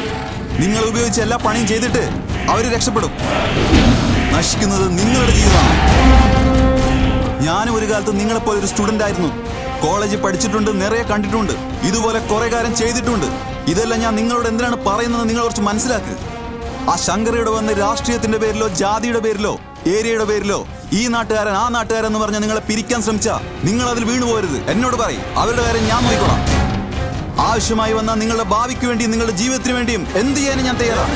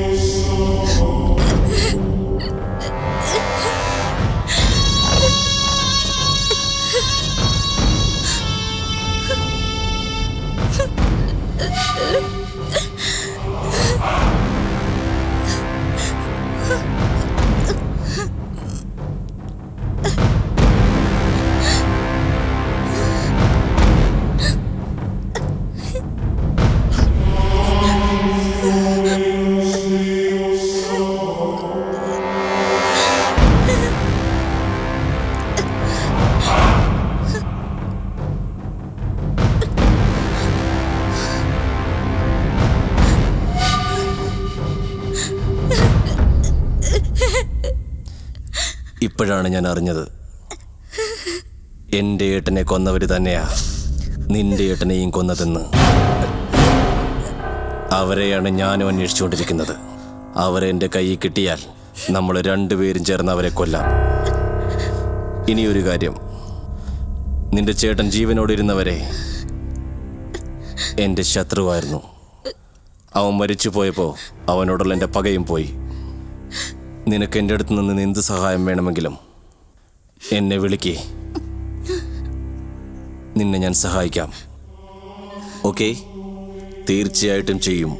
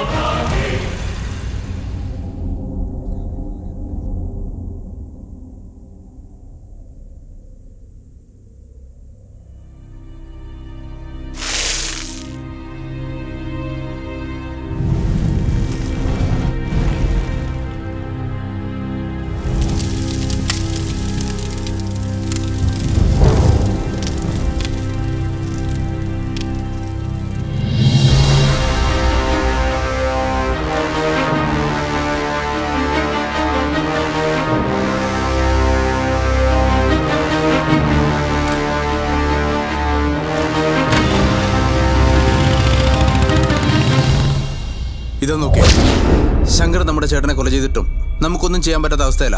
ഈ സമയത്ത് ശരിയായ പ്ലാനും സ്കെച്ചും ഇല്ലാതെ അറ്റാക്ക് ചെയ്താൽ നമുക്ക് തന്നെയാണ് പ്രശ്നം. ഈ നാട്ടിലെ പോലീസുകാരും രാഷ്ട്രീയക്കാരും മാത്രമല്ല ഈ നാട്ടിലെ പണക്കാരും വലിയ വലിയ ആൾക്കാരും അവനെ മാത്രമാണ് സപ്പോർട്ട് ചെയ്യുന്നത്. അവനിപ്പോ നമ്മൾ എന്താ ചെയ്യേണ്ടത്? അവനെ പേടിച്ച് നമ്മൾ ഈ നാട് വിട്ടു പോണോ? ഏയ് ഇപ്പൊ അവനോട് ഏറ്റുമുട്ടി നമ്മൾ ജീവനോട് ഉണ്ടാവില്ല. ജീവനോട് ഉണ്ടായാലേ നമുക്ക് പ്രതികാരം ചെയ്യാൻ പറ്റത്തുള്ളൂ. ജയകൃഷ്ണൻ അതുകൊണ്ട് നമ്മൾ ഞാൻ പറയുന്നത് മാത്രം കേൾക്ക്. എല്ലാവരും കുറച്ച് അടങ്ങിയിരിക്കുക ശരിയായ സന്ദർഭം കിട്ടും ആ ശങ്കരനെ.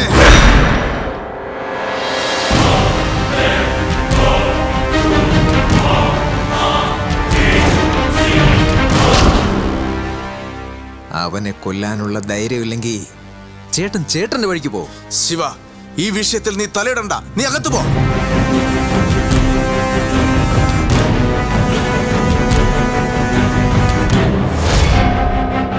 അവന് മാത്രമേ കൊല്ലാൻ സാധിക്കൂ? നമുക്കെന്താ കൊല്ലാൻ പറ്റില്ലേ? അവന്റെ കത്തിക്ക് മാത്രമല്ല മൂർച്ചയുള്ളത്. നമ്മുടെ കത്തിക്ക് മൂർച്ച ഉണ്ടാവും മനസ്സിലായോ? ചെറിയവനാ. നിനക്കിത് ആവശ്യമില്ലാത്ത കാര്യം തീരുമാനിച്ചുറപ്പിച്ച പിന്നെ ചെറിയവനോ വലിയവനൊന്നോ ഇല്ല. മനസ്സിൽ ധൈര്യം മാത്രം ഉണ്ടായാൽ മതി. ചേട്ടൻ മരിക്കുന്നത് ഈ കണ്ണുകൾ കൊണ്ട് കണ്ടവനാ ഞാൻ. നീ കണ്ടില്ലല്ലോ? നീ അത് കണ്ടിരുന്നെങ്കിൽ നിന്റെ നെഞ്ച് പിളർന്നു പോയനെ. നോക്ക് അവൻ ഭയങ്കര ഡേഞ്ചറാണ്. അവനെതിർത്ത് നമുക്ക് നിൽക്കാൻ പോലും പറ്റത്തില്ല. ആന ചവിട്ടിയാൽ പോലും ചിലപ്പോൾ ജീവിച്ചെന്നിരിക്കും. പക്ഷെ ഞാൻ അടിച്ച അതവന്റെ അന്ത്യമായിരിക്കും. മരണഭയത്തിൽ നീ ഇവിടെ തന്നെ കടാ. ഞാൻ അവനെ വിടില്ല. ചേട്ടനെ കൊന്നവന്മാരെല്ലാം ഈ നാട്ടുകാരെ മുമ്പിലിട്ട് പട്ടിയെ തല്ലുന്നവരെ കൊന്നിട്ടേ ഞാൻ ചേട്ടന്റെ മുമ്പിൽ വന്ന് നിൽക്കൂ. നീ ഓക്കെ എന്നൊരു വാക്ക് പറഞ്ഞാൽ കോളേജ് പിള്ളേരൊക്കെ അവന്റെ വീട്ടിൽ കൂട്ടിക്കൊണ്ടുപോയി. അവിടെ വെച്ച് തന്നെ അവനെ വെട്ടിക്കൊല്ലാം.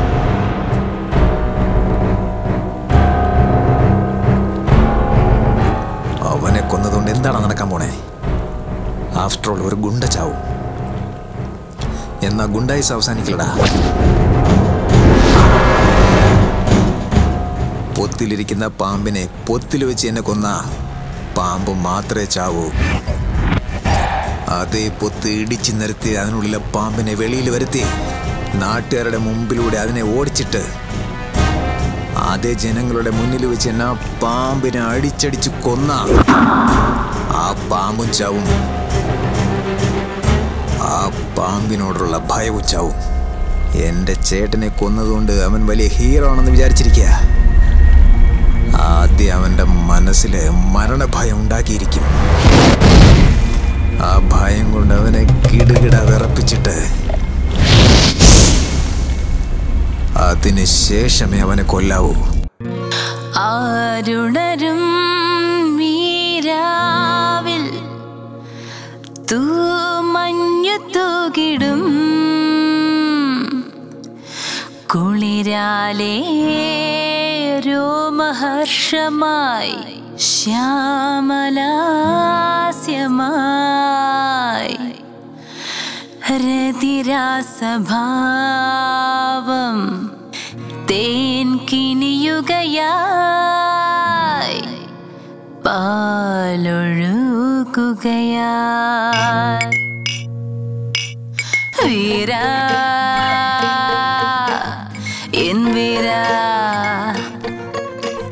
വീരാ.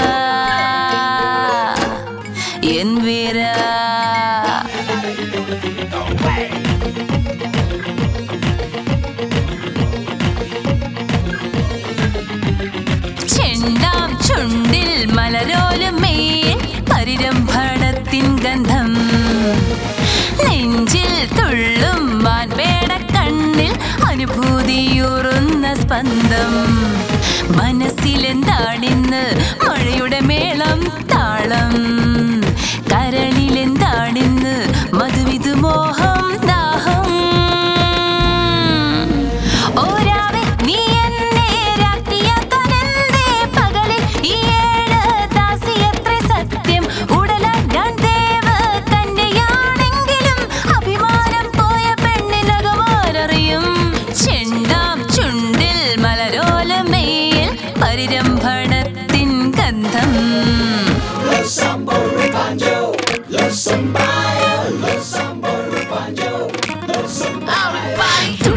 തുടി കടന്തുടി. പറ പറ പേരും പറ കുറു കുറു കുറു കുഴൽ വിളി. ഉത്സവമേളമായി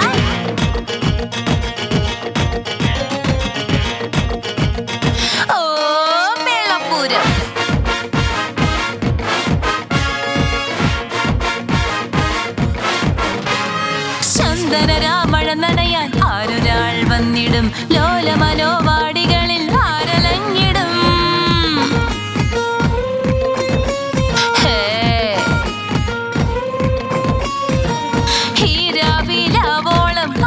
ചോദിക്കാം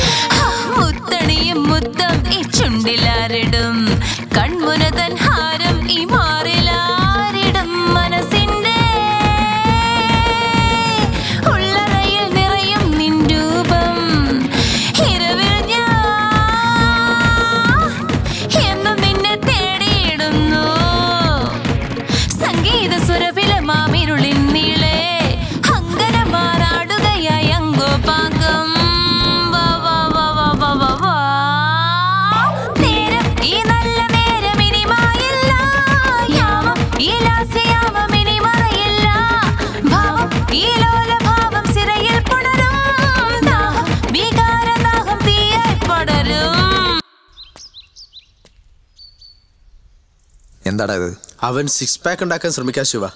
അത് കാണാൻ മാത്രമേ കൊള്ളൂ. തിരിച്ചുപയോഗിക്കാൻ പറ്റില്ല. ഡേ ശിവ കോയമ്പത്തൂരിന്ന് പാർസൽ വന്നിട്ടുണ്ട്. അകത്ത് വെച്ചിട്ടുണ്ട്. എന്താടാ ഇത് നെയ്ഡബ്ബ പോലെ ഉണ്ടല്ലോ? എന്താടാ? നമ്മളെ നാട്ടിൽ ഇപ്പൊ നെയ്യൊന്നും കിട്ടാനില്ലേ? കോയമ്പത്തൂർന്ന് വരുത്തിച്ചിരിക്കുക ആ? തുറന്നു നോക്ക്. കണ്ടോ? ഞാൻ അപ്പോഴേ പറഞ്ഞില്ലേ നെയ്യായിരിക്കുന്നു അങ്ങ് അകത്ത് കൈയിട്ട് നോക്ക് അപ്പൊ അറിയാം.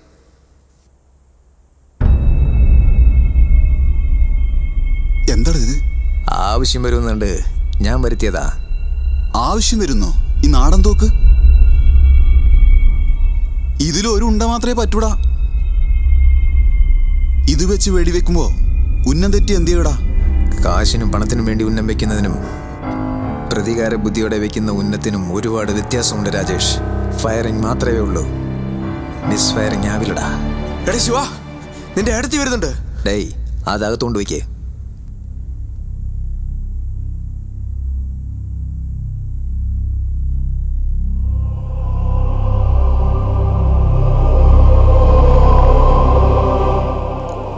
നിന്റെ ചേട്ടന്റെ കൂടെ? ഞാനും പോയെന്ന് കരുതിയോ?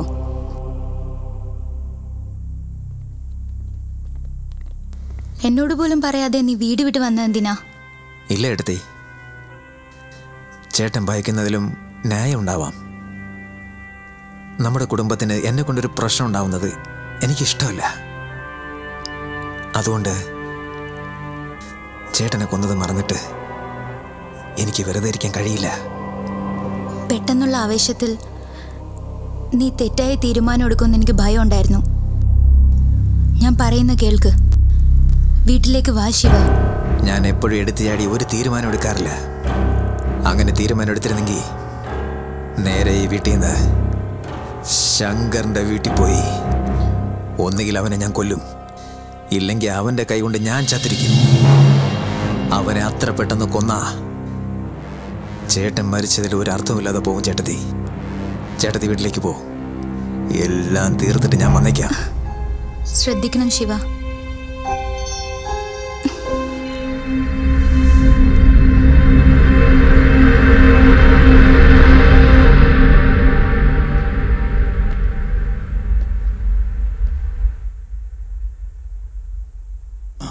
വാ ജയകൃഷ്ണ എങ്ങനെയുണ്ട് കണ്ടിട്ട് കുറച്ചായല്ലോ. നമുക്കല്പം സ്വകാര്യമായിട്ട് സംസാരിക്കണം.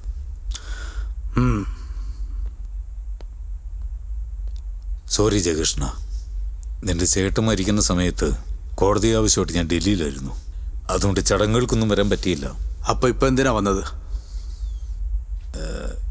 ഈ ഭാഗത്ത് നിനക്കും അവിടെ ശങ്കർക്കും നിങ്ങൾക്ക് രണ്ടുപേർക്കും ഞാൻ വേണ്ടപ്പെട്ടവനായതുകൊണ്ട് നിന്നോടുള്ള പ്രത്യേക താല്പര്യം കൊണ്ടും നിന്നോടൊരു പ്രധാനപ്പെട്ട വിഷയം സംസാരിക്കാനാണ് ഞാൻ വന്നത്. എന്താ കാര്യം?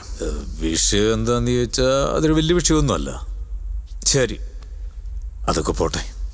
ഡയറക്റ്റായിട്ട് കാര്യത്തിലേക്ക് വരാം. നിന്റെ അനിയൻ ശിവകൃഷ്ണ ശങ്കറിനെ എതിർത്ത് അതിലും വലിയ റൗഡിയാകുന്നു. നിങ്ങൾ വിചാരിക്കും പോലെ ശങ്കർ ഈ സീറ്റിലെ ഒരു സാധാരണക്കാരനല്ല കൃഷ്ണ. ധാരാളം നേതാക്കന്മാർ അവന്റെ പിന്നിലുണ്ട്. ഇത് നോക്ക് ജയകൃഷ്ണ. നിന്റെ ചേട്ടൻ മരിച്ചതിന് ശേഷം ശങ്കറിനും നിങ്ങൾക്കുമിടയിലുള്ള പ്രശ്നം എല്ലാം തീർന്നതുപോലെയാ വീണ്ടും അതിനൊരു സ്കെച്ച് ഒരു കൗണ്ടർ അറ്റാക്ക് ആവശ്യമില്ലാത്ത പ്ലാനിങ് ശങ്കറിനോട് പൊരുതി ശിവയുടെ ജീവൻ ആപത്തുണ്ടാക്കണ്ട എന്ന് പറഞ്ഞേക്ക്. ഇപ്പൊ ഈ കുടുംബത്തിലെ മൂത്തവൻ നീയാ. അവന് നല്ല ബുദ്ധി പറഞ്ഞു കൊടുക്ക. ഈ നാട് സുരക്ഷിതമല്ല ശിവ ഒരുപക്ഷെ നമുക്ക് നഷ്ടപ്പെട്ടേക്കാം. അവൻ വിദ്യാഭ്യാസമുള്ളവനല്ലേ. അവനോട് ഇതിൽ കൂടുതലൊന്നും പറയേണ്ട ആവശ്യമില്ല. കുറച്ചു കാലം ഇങ്ങനെയുള്ള കാര്യങ്ങളിതെല്ലാം മാറിയിട്ട് ഒതുങ്ങിയിരിക്കാൻ പറയും. ശങ്കർ ശിവയെ ഒന്നും ചെയ്യാതെ ഞാൻ നോക്കിക്കോളാം നീ. എങ്കിലും ശിവയോട് സൂക്ഷിക്കാൻ പറയണം.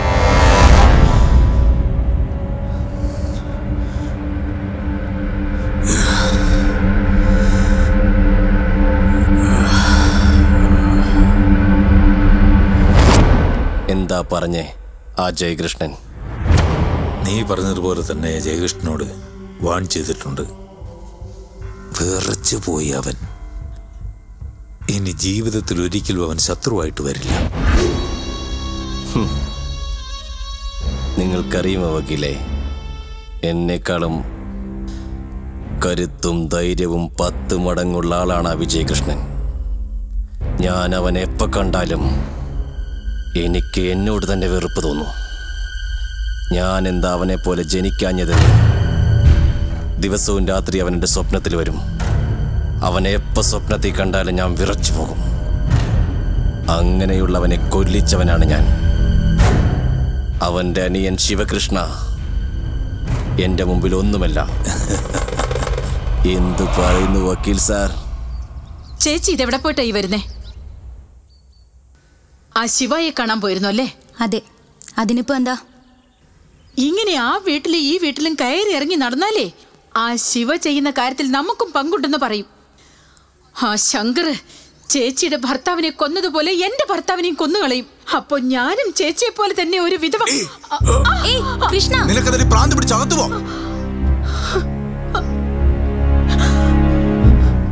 സോറി ഏട്ടത്തി. അവക്ക് ഭ്രാന്ത. ശിവ ചെയ്യുന്ന കാര്യത്തിൽ എനിക്കെന്തെങ്കിലും ആപത്ത് വരുമോ എന്ന് ഭയന്നിട്ട് അവളിങ്ങനെ പെരുമാറുന്നത്. ചേട്ടത്തി ഇനിമേൽ ശിവനെ കാണുമ്പോൾ അവനോടൊന്ന് കരുതിയിരിക്കാൻ പറയണം. അവൻ നീ വിചാരിക്കുന്ന പോലെ ബുദ്ധിയില്ലാത്തവനൊന്നുമല്ല. എന്ത് ചെയ്യണം എന്ത് ചെയ്യണ്ട എന്ന് അവന് നല്ലോണം അറിയാം. പറ്റുമെങ്കിൽ ശിവയെ വീട്ടിലേക്ക് കൂട്ടിക്കൊണ്ടുവാ ഒരു ചേട്ടനെ പോലെ പെരുമാറാൻ പഠിക്കും. ഇപ്പൊ അവനെ വീട്ടിലേക്ക് കൂട്ടിക്കൊണ്ടുവന്ന നമുക്ക് എല്ലാവർക്കും ആപത്താ. ആയടക്ക്. അവൻ നിന്നെപ്പോലെ കേറി വന്നവനല്ല. എന്റെ അനുജന. അവൻ എവിടെ ഉണ്ടാവണമെന്ന് നീയല്ല തീരുമാനിക്കുന്നേ. ആദ്യം നീ എവിടെ ഉണ്ടാവണമെന്നുള്ളത് നീ തീരുമാനിച്ചു.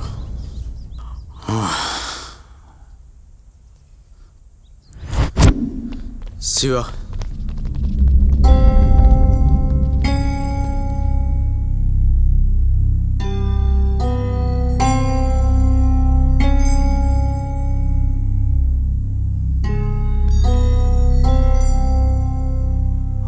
എന്തിനാ അങ്ങനെ സംസാരിച്ചെന്നുള്ള കാര്യം എനിക്ക് മനസ്സിലായി. അതൊക്കെ മറന്നേക്കാം. എന്നാൽ ഇപ്പോഴത്തെ സാഹചര്യത്തിൽ നീ തനിച്ചിരിക്കുന്നത് പ്രശ്നമാണ്. ചേട്ടാ ഞാൻ ഇവിടെ ഇരുന്ന എനിക്ക് മാത്രമേ കുഴപ്പമുള്ളൂ. ഞാൻ അവിടെ വന്നാ നിങ്ങൾക്ക് എല്ലാവർക്കും പ്രശ്നമുണ്ടാവും. അതെനിക്ക് ഇഷ്ടമല്ല ആപത്തൊന്നും നമ്മുടെ കുടുംബത്തിന് പുതിയ കാര്യമല്ലടാ. വിജയേട്ടൻ എന്ന് കയ്യിൽ കത്തിയെടുത്തോ. അന്നു മുതൽ ഫാമിലി മെമ്പറായി.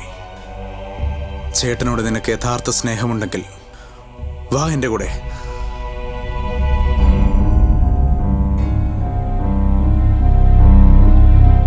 ചേട്ടനെ കൊന്നവരെ കൊല്ലണമെന്നുള്ളത് എനിക്കും കൂടെ ഇല്ലേ? അവരെന്തെങ്കിലും നിന്നെ ചെയ്തേക്കുമെന്നുള്ള ഭയത്തിൽ അങ്ങനെ പറഞ്ഞത്. വേറൊന്നും കൊണ്ടല്ല. നീ ഇങ്ങനെയൊന്നും ആവാൻ പാടില്ല എന്നാ ചേട്ടൻ ആഗ്രഹിച്ചേ. നീ അങ്ങനെ ആയിപ്പോയി. ശിവ. നീ എന്ത് ചെയ്യണമെന്ന് നീ ആഗ്രഹിക്കുന്നു അത് ചെയ്. നിന്റെ പുറകിൽ ഞങ്ങളുണ്ടാവും. കൊല്ലാനും ജീവിക്കാനും. ഒരുമിച്ച്.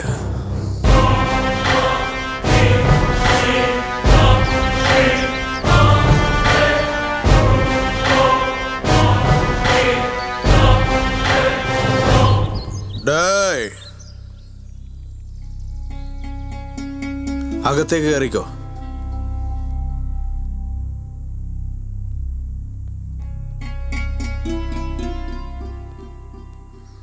വിളിച്ചോണ്ട് വന്ന് ചേട്ടത്തി. എന്തു ചെയ്യണമെങ്കിലും ഈ വീട്ടിലിരുന്ന് ചെയ് ശിവ. ശരി ചേട്ടത്തി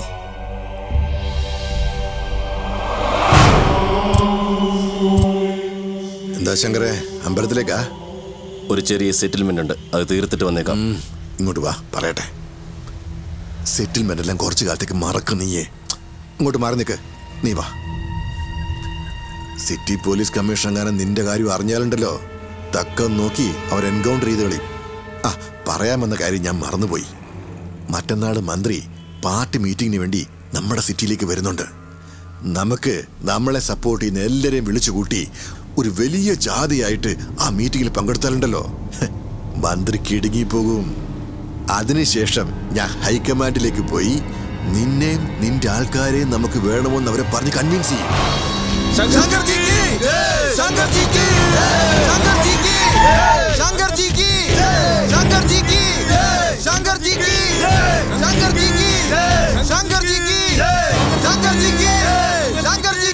രമണൻ പറയൂ.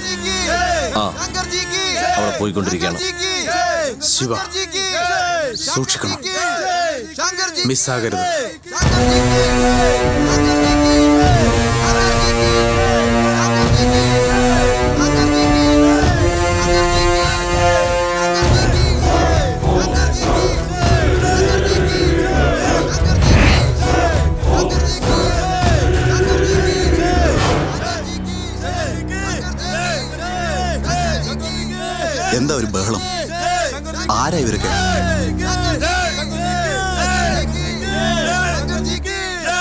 സാർ.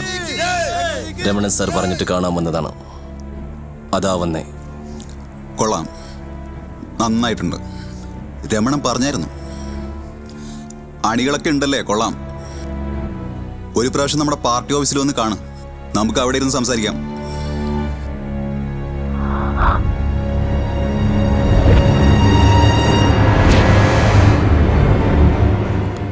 ഞാനിപ്പോൾ മീറ്റിങ്ങിലാണ് നീ ഇപ്പോൾ പോ. നമുക്ക് പിന്നെ കാണാം. പോ. Okay sir.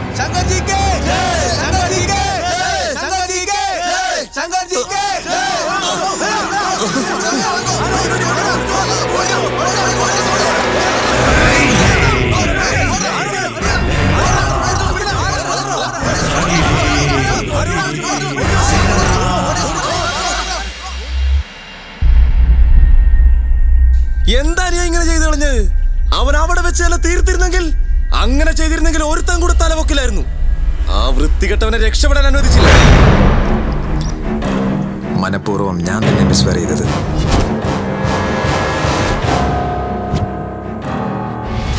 എന്തിനാണ്? ഇതുവരെ അവൻ ഏത് നാട്ടിലെ ജനങ്ങളെ ഭയപ്പെടുത്തി ജീവിച്ചുകൊണ്ടിരുന്നുവോ അതേ ജനങ്ങളുടെ മുന്നിൽ അവനെ മരണഭയം ഉണ്ടാക്കി ഓടാൻ വിട്ടിരിക്കുകയാണ് ചെയ്തത്. ഈ അറ്റാക്കോടെ അവന് മരണത്തോട് പേടിയുണ്ടായിരിക്കും. ഈ നാട്ടിൽ അവന്റെ രക്തം കാണാൻ പറ്റുന്നത്ര അളവിലെ കാണിച്ചു കൊടുക്കാൻ ഒരാണുണ്ടെന്ന് അവൻ അറിയട്ടെ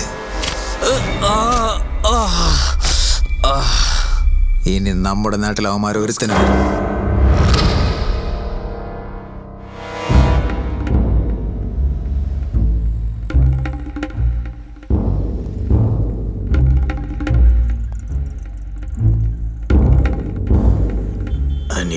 ഇരിക്കാമല്ലോ ഇരിക്കൂ.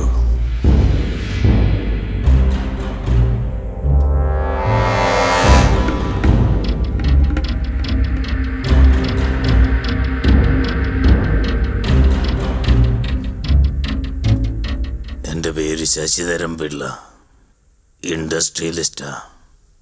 നിന്നെ ഒന്ന് കാണാൻ വന്നതാ. എന്നെ എന്തിനു നിങ്ങൾ കാണണം? അത് നിന്നോട് രഹസ്യമായിട്ട് പറയേണ്ടതാ. തനിച്ചാണുള്ളത്. പറ.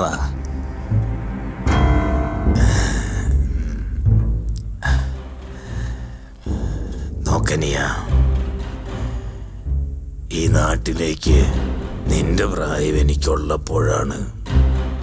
നിന്റെ പ്രായമുള്ളപ്പോഴാ നാട് വിട്ട് നാട് വിട്ട് പോയി. റോഡ് തൂത്തും കാറ് കഴുകിയും കുറേശ്ശെ കുറേശ്ശെ പണം സമ്പാദിച്ച് തിരിച്ചു വന്ന് ഈ നാട്ടിൽ തന്നെ ഒരു ബിസിനസ് ആരംഭിച്ചു ഞാൻ. പണം സമ്പാദിക്കണമെന്നുള്ള വൈരാഗ്യ ബുദ്ധി മാത്രമല്ല നമ്മുടെ നാടിനോടുള്ള അടങ്ങാത്ത സ്നേഹവും കൂടി മനസ്സിൽ വെച്ചോണ്ടാ. പക്ഷേ നമ്മുടെ നാട് ശങ്കറിന്റെ കൈ കീഴിലാണെന്ന് അറിഞ്ഞപ്പോ എനിക്ക് സഹിക്കാൻ പറ്റിയില്ല. ചെറിയവനാണെങ്കിലും ഒറ്റയ്ക്ക് ഒറ്റയ്ക്ക് നീ അവനെ എതിർക്കുന്നു എന്നറിഞ്ഞ ഉടനെ നിന്നെ സഹായിക്കാമെന്ന് കരുതിയ ഞാൻ വന്നേ. ചോദിക്കനിയാ ആ ശങ്കരനെ തീർക്കാൻ വേണ്ടി എന്ത് വേണമെങ്കിലും നീ എന്നോട് ചോദിക്ക്. എന്റെ കയ്യിലുള്ള ആൾബലം അധികാരബലം പണത്തിന്റെ ബലം ചോദിച്ചാൽ ഉടനെ അടുത്ത നിമിഷം നിന്റെ മുൻപിലുണ്ടാവും. ആ ശങ്കരനെ കൊന്നതിന് ശേഷം നമ്മുടെ നാട് നമ്മുടെ കയ്യിൽ വരും. എന്താണ്? ആ ശങ്കരനെ കൊന്നാലേ നമ്മുടെ നാട് നമ്മുടേതാകും മോനെ. ശങ്കറിനും എനിക്കിവിടെയുള്ള പ്രശ്നം. അതെന്റെ പേഴ്സണൽ പ്രശ്നം. ആ ശങ്കറിനെ ഫേസ് ചെയ്യാൻ എനിക്ക് എന്റെ മനോബലം മാത്രം മതി. നിന്നെ പോലുള്ള ആളുകളുടെ പണത്തിന്റെ ബലത്തെ വിശ്വസിച്ചല്ല.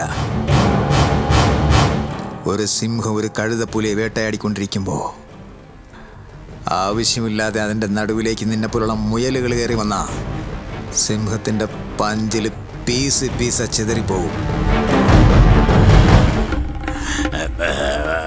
അത് ഞാൻ പറഞ്ഞു ആര്? എങ്ങനെയുള്ളവൻ? നീ എന്തിനെ കാണാൻ വന്നിരിക്കുന്നെന്ന് എനിക്ക് നന്നായിട്ടറിയാം.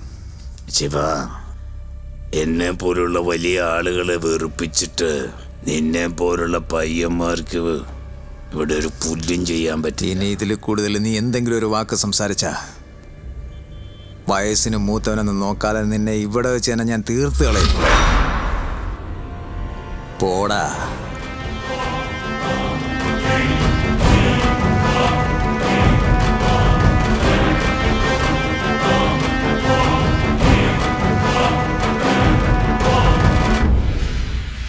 കാണാം മോനെ.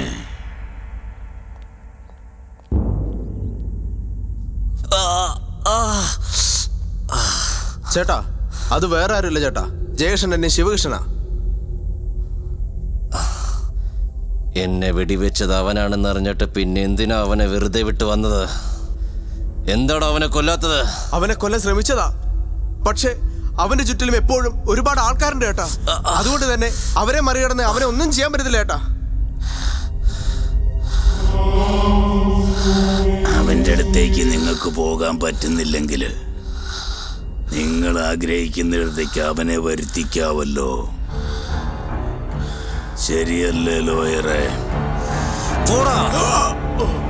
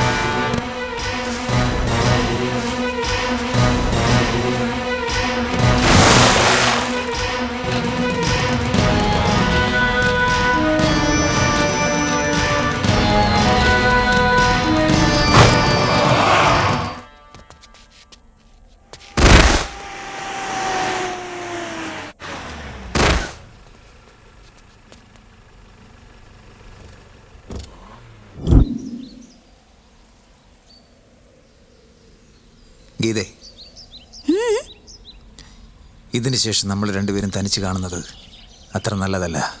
എന്താ? ശങ്കറിന്റെ ആളുകൾ എന്നെ കൊല്ലാൻ വേണ്ടി ശ്രമിച്ചുകൊണ്ടിരിക്കുക നീ ഇവന്റെ കൂടെ വരുന്ന? നിനക്കും ആവത്താ. നീ എന്റെ അടുത്തുള്ളിടത്തോളം എനിക്കൊന്നും സംഭവിക്കില്ല. അത് വിട്. ഗീത അവർ ഗുണ്ടകളാ. മനസാക്ഷിയില്ലാത്ത മൃഗങ്ങളാ. നോക്ക് ശിവ എന്റെ അച്ഛൻ ഒരു പോലീസ് ഓഫീസറാ. അച്ഛൻ ട്രാൻസ്ഫർ ആകുന്ന ഓരോ സ്ഥലത്തും കുറെ ഗുണ്ടകളെയും ക്രിമിനൽസിനെയും കണ്ടു വളർന്നവളാ ഞാൻ. ഇതുപോലെ ഗുണ്ടാ കഥകളൊക്കെ പറഞ്ഞ് എന്നെ പേടിപ്പിക്കാൻ നോക്കണ്ട. ഞാൻ പേടിക്കില്ല. അതിരിക്കട്ടെ. അടുത്തത് ആർക്കാ സ്പോട്ട് വെച്ചിരിക്കുന്നേ? സ്പോട്ടോ? നിനക്കെന്തിനാ? കെട്ടാൻ പോകുന്നതിന്റെ ഹീറോയിസം ഒന്ന് കണ്ട് രസിക്കാലോ. പറഞ്ഞ മനസ്സിലാവില്ലേ നിനക്ക്? ഹലോ? എന്താണ്? ഏയ് രാജേഷിന് ആക്സിഡന്റ് ആയി. നീ വാ.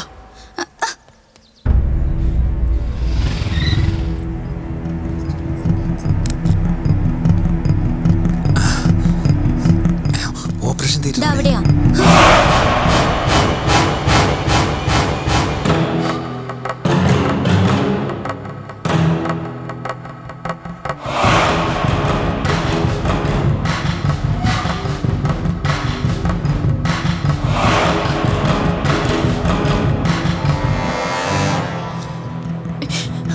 രാജേഷിന് എന്ത് പറ്റി? നിന്നെ കാണാനാ വന്നത്.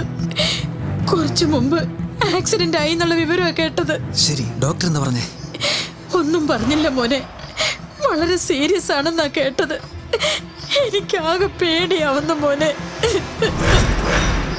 ശിവ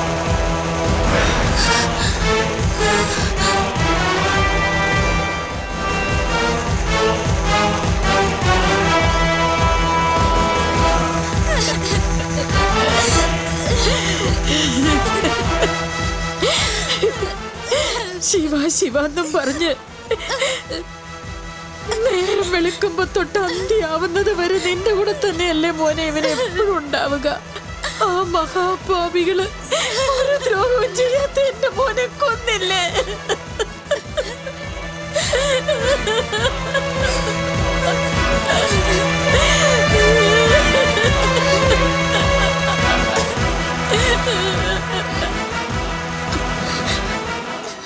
പുരുഷോത്തമ ഇനി അങ്ങനെ അവന്മാരെ വെറുതെ വിടാൻ പാടില്ല. ഈ നിമിഷം മുതൽ നമ്മുടെ ആളുകളുടെ മുന്നിൽ അവന്മാരെ ആരെ കണ്ടാലും അവന്മാരുടെ ആരുടെ ശരീരത്തിലും തലയുണ്ടാവാൻ പാടില്ല. എത്ര പേരെ കൊന്നു എന്നല്ല എത്ര ഭീകരമായി കൊല്ലുന്നു എന്നാണ് അവന് ഓർമ്മയുണ്ടാവണം.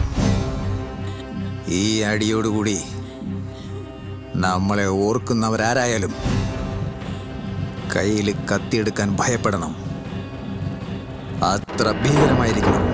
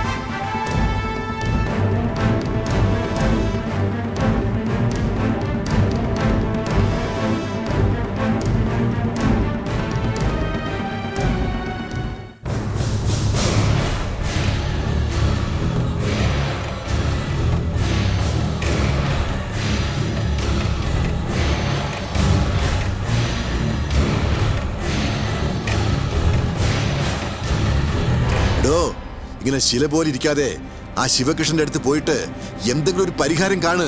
ഏ ശിവകൃഷ്ണ നിനക്ക് ഭ്രാന്ത? ആ ശങ്കരനോട് എതിർത്ത അവൻ നിന്നെ കൊന്നുകളി ഇപ്പൊ.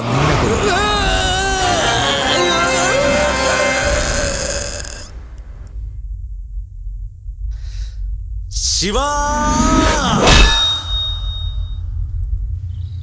ഓർമ്മ ഉണ്ടായിരിക്കണം. അടുത്തത് നീയാണ്.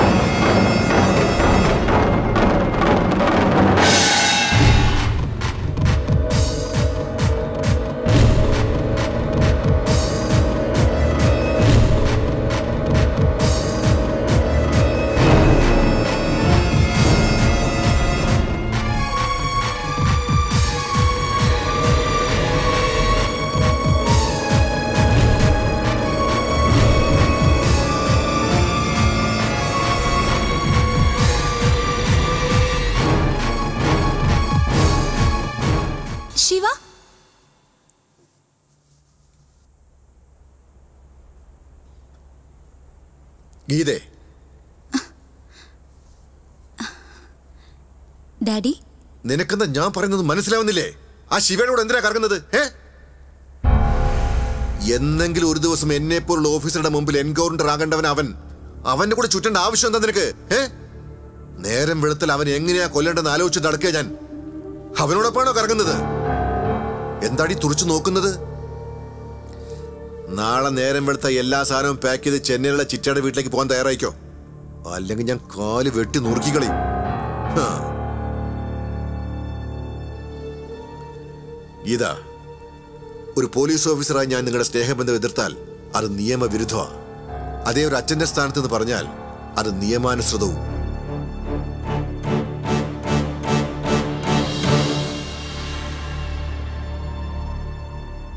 ശരി പറഞ്ഞില്ലേ. എന്തെങ്കിലും ഒന്ന് ചെയ്യ് ദേ നോക്ക് രമണ. ഇങ്ങനെ ഒന്നിനും കൊള്ളാത്തവരെ എന്റെ അടുത്തേക്ക് അയക്കരുത്. ഫോൺ വയ്ക്ക് അയ്യയ്യയ്യോ ആ ചെറുക്കൻ ഇരുപത്തഞ്ച് വയസ്സ് പോലും ആയിട്ടുണ്ടാവില്ല.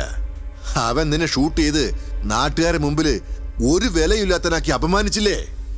ഇത് കണ്ട മിനിസ്റ്റർ അവൻ സ്വയരക്ഷയ്ക്കേ പറ്റുന്നില്ല. പിന്നാണോ പാർട്ടിയെ രക്ഷിക്കാൻ പോകുന്നതെന്ന് ഹൈക്കമാൻഡിന്റെ അടുത്ത് പോയി പൂക്കള വിട്ട് കളഞ്ഞില്ലേടാ. ഡേയ് ഒന്ന് മതിയാക്ക് പോ. അവനൊരു കൊച്ചു ചെറുക്കനാന്ന നിന്റെ കണക്കുള്ള തെറ്റാ. ഇതുപോലത്തെ റൗഡി നീ ഒരിക്കലും ഉണ്ടാവില്ല എന്ന സ്ഥിതിയിലേക്ക് നാട് തന്നെ വിറയ്ക്കുന്ന പോലെയല്ലേ ഓരോ ദിവസം ഓരോരുത്തരെ കൊന്നോണ്ടിരിക്കുന്നത്. കൊച്ചു ചെറുക്കനാണെങ്കിലും അവന്റെ ധൈര്യം സമ്മതിച്ചേ പറ്റൂ. നോക്ക് ശങ്കർ ഉടനെ നീ അവന്റെ കാര്യത്തിൽ ഒരു തീരുമാനം എടുത്തില്ലെങ്കിൽ അടുത്ത ഊഴം നിന്റേതായിരിക്കുമെന്ന് ഒരിക്കലും നീ മറക്കണ്ട.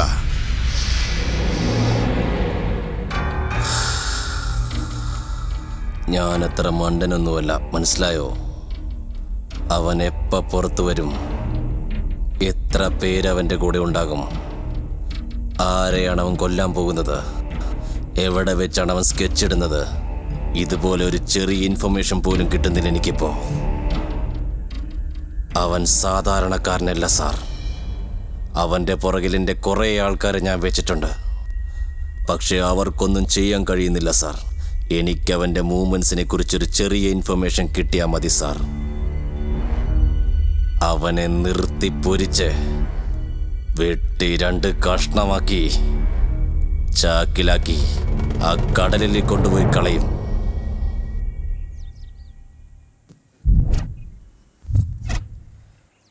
സാർ നിങ്ങളോട് അത്യാവശ്യമായിട്ടൊരു കാര്യം പറയാൻ വന്ന സാർ. എന്താ കാര്യം? സാർ നിങ്ങളുടെ പേരിൽ പാലാരോട്ടെ സ്റ്റേഷനിൽ ഒരു കേസ് ചാർജ് ആയിട്ടുണ്ട് സാർ. ഏ? കേസോ? എനിക്കെതിരെയോ? ആരാ എനിക്കെതിരെ കേസ് കൊടുത്തത്? നിങ്ങളുടെ മകളാണ് sir.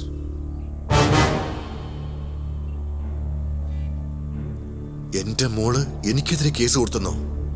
I P C five nought six and five nought nine section പ്രകാരം നിങ്ങൾ അവരെ അവരുടെ ബോയ് ഫ്രണ്ടിന്റെ കൂടെ വിടുന്നില്ലെന്നും അവർ മേജറാണെന്നും അവരെ കാണാൻ അനുവദിക്കുന്നില്ലെന്നും അവരെ നിങ്ങൾ നാട് കടത്താൻ ശ്രമിക്കുകയാണെന്നും അവരുടെ കാലുതല്ലി ഓടിക്കുമെന്നും കേസ് ഷീറ്റിൽ മെൻഷൻ ചെയ്തിട്ടുണ്ട് sir. F I R register ചെയ്തോ? ഇനിയും ചെയ്തിട്ടില്ല sir.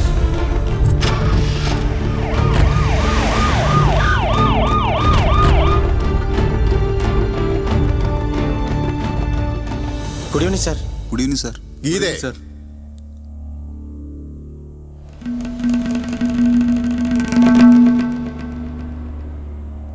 എന്താ നിന്റെ പ്രശ്നം? ഞാനൊരു പ്രശ്നത്തിന് വന്നതല്ല. കംപ്ലൈന്റ് ചെയ്യാൻ വന്നതാ. ആ റൗഡിയുടെ കൂടെ കറങ്ങരുന്ന് പറഞ്ഞാ എനിക്കെതിരെ കേസ് കൊടുക്കോ നീ? എന്ത് ഭ്രാന്താ നീ കാണിക്കുന്നത്? ഞാൻ ഇഷ്ടപ്പെടുന്നവനെ പ്രേമിക്കുന്നത് നിങ്ങൾക്ക് ഭ്രാന്താണെന്ന് തോന്നിയ? ഞാൻ ഭ്രാന്തിയാ. അയ്യോ ആ ശിവ ഒരു റൗഡിയാണെന്ന് പറഞ്ഞാ നിന്റെ മണ്ടൽ കയറില്ലേ? ശിവയെ പറ്റി എന്ത് പറഞ്ഞാലും എനിക്കത് പ്രശ്നമല്ല. അവൻ എന്ത് ചെയ്യുന്നു എന്നുള്ളതും എനിക്കറിയണ്ട. ഈ നാട്ടിലുള്ളവരോ നിങ്ങളോ ശിവയെക്കുറിച്ച് എന്ത് പറഞ്ഞാലും അതൊന്നും എനിക്കൊരു പ്രശ്നമല്ല. ഞാൻ നിന്റെ മേൽ ആക്ഷൻ എടുത്തതിന് മുമ്പേ കേസ് വിഡ്രോ ചെയ്ത് നീ എന്റെ കൂടെ വരുന്നതാണ് നല്ലത്. ഡാഡി ഞാനെന്താ ക്രിമിനൽ ആണെന്ന് വിചാരിച്ചോ? നിങ്ങൾക്ക് ഇഷ്ടമുള്ള പോലെ ആക്ഷൻ എടുക്കാൻ മനസ്സിന് ഇഷ്ടപ്പെട്ടവനെ സ്നേഹിക്കുന്നതും സ്നേഹിച്ചവനെ കല്യാണം കഴിക്കുന്നതും ഏതൊരാളുടെ അവകാശമാണ്. നിങ്ങളുടെ ഇഷ്ടം പോലെ നിങ്ങൾ എന്ത് വേണമെങ്കിലും ചെയ്തോ. ശിവ എവിടെയുണ്ടോ? അവിടെ ഞാനും ഉണ്ടാവും. ഡാഡി ഇന്നാ നിങ്ങളുടെ വീടിന്റെ ചാവി.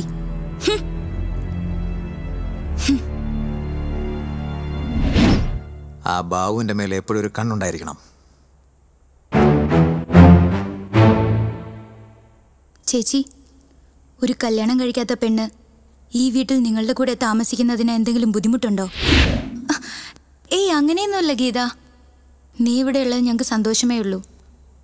കൊച്ചേട്ടാ നിങ്ങൾക്ക് എന്തെങ്കിലും ബുദ്ധിമുട്ടുണ്ടോ? എനിക്കെന്ത് പ്രശ്നം? എനിക്ക് സമ്മത. നിങ്ങളുടെ അനിയൻ സമ്മതിച്ചാലും ശരി സമ്മതിച്ചില്ലെങ്കിലും ശരി. ഞാൻ ഫിക്സ് ചെയ്തു. ഇവിടെ തന്നെ താമസിക്കും ചേച്ചി.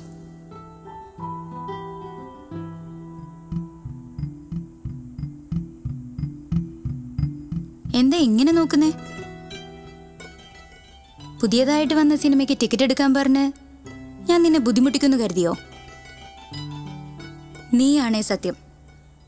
ഞാൻ നിന്നെ ശല്യം ചെയ്യില്ല.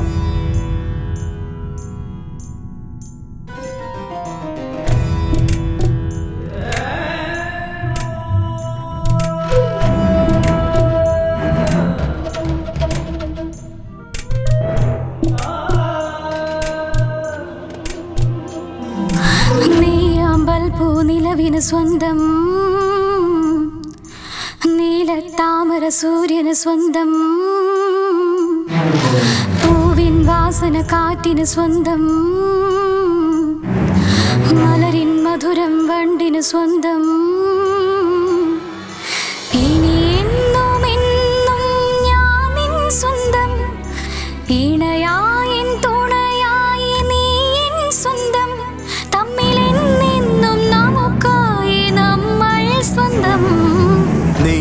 നെയ്യാമ്പൽ പൂനിലവിന് സ്വന്തം. നീലത്താമര സൂര്യന് സ്വന്തം. പൂവിൻ വാസന കാറ്റിന് സ്വന്തം. മലരിൻ മധുരം വണ്ടിന് സ്വന്തം. ഇനി എന്നും എന്നും ഞാൻ നിൻ സ്വന്തം. ഇണയായൻ തുണയായി നീ എൻ സ്വന്തം. തമ്മിൽ എന്നെന്നും നമുക്കായി നമ്മൾ സ്വന്തം.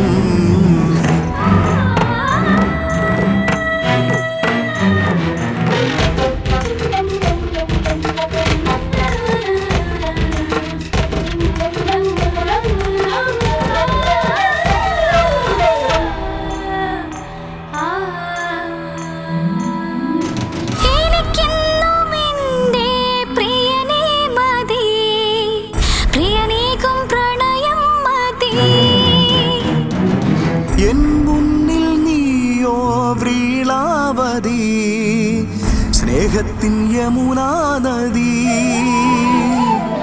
ചിലമ്പിട്ടു കിഴക്കുന്ന കടതിര തിരയുന്നു കരയുടെ മനസ്സിന്റെ വസന്തത്തിൻ തുടിപ്പുകൾ. അരിപുലവാനത്തൊരമ്പിളി തേടുന്നു മുകിലിന്റെ നെഞ്ചിലെ കനവിന്റെ പീലി. ആ പ്രേമം മായാമം നാമെന്നറിഞ്ഞാദ്യമായി. നീയാമ്പൽ പൂ നിലവിന് സ്വന്തം. നീല താമര സൂര്യന് സ്വന്തം. പൂവിൻ വാസന കാറ്റിന് സ്വന്തം മലരിൻ മധുരം വണ്ടിന് സ്വന്തം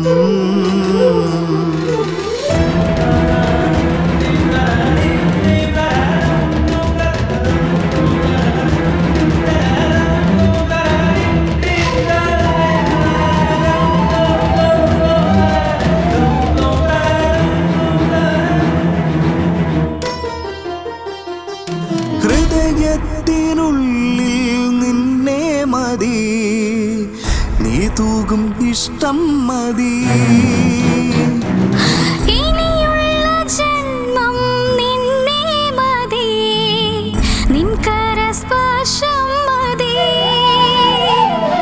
അകലത്തിലകലവേ അരികത്തു നീ വന്നു. അനുരാഗ കുളിരുള മഴവിൽ എഴുതുന്നു. നീ എന്നെ പുണരുന്നു. ഞാൻ നിന്നിൽ അലയുന്നു. വിരഹം മറയുന്നു. പ്രണയം ഇന്നുണരുന്നു. നിന്നെ സ്നേഹം എന്റെ ആകം നമ്മിൽ കവിഞ്ഞാദ്യമായി പൂവിൻ വാസന കാറ്റിന് സ്വന്തം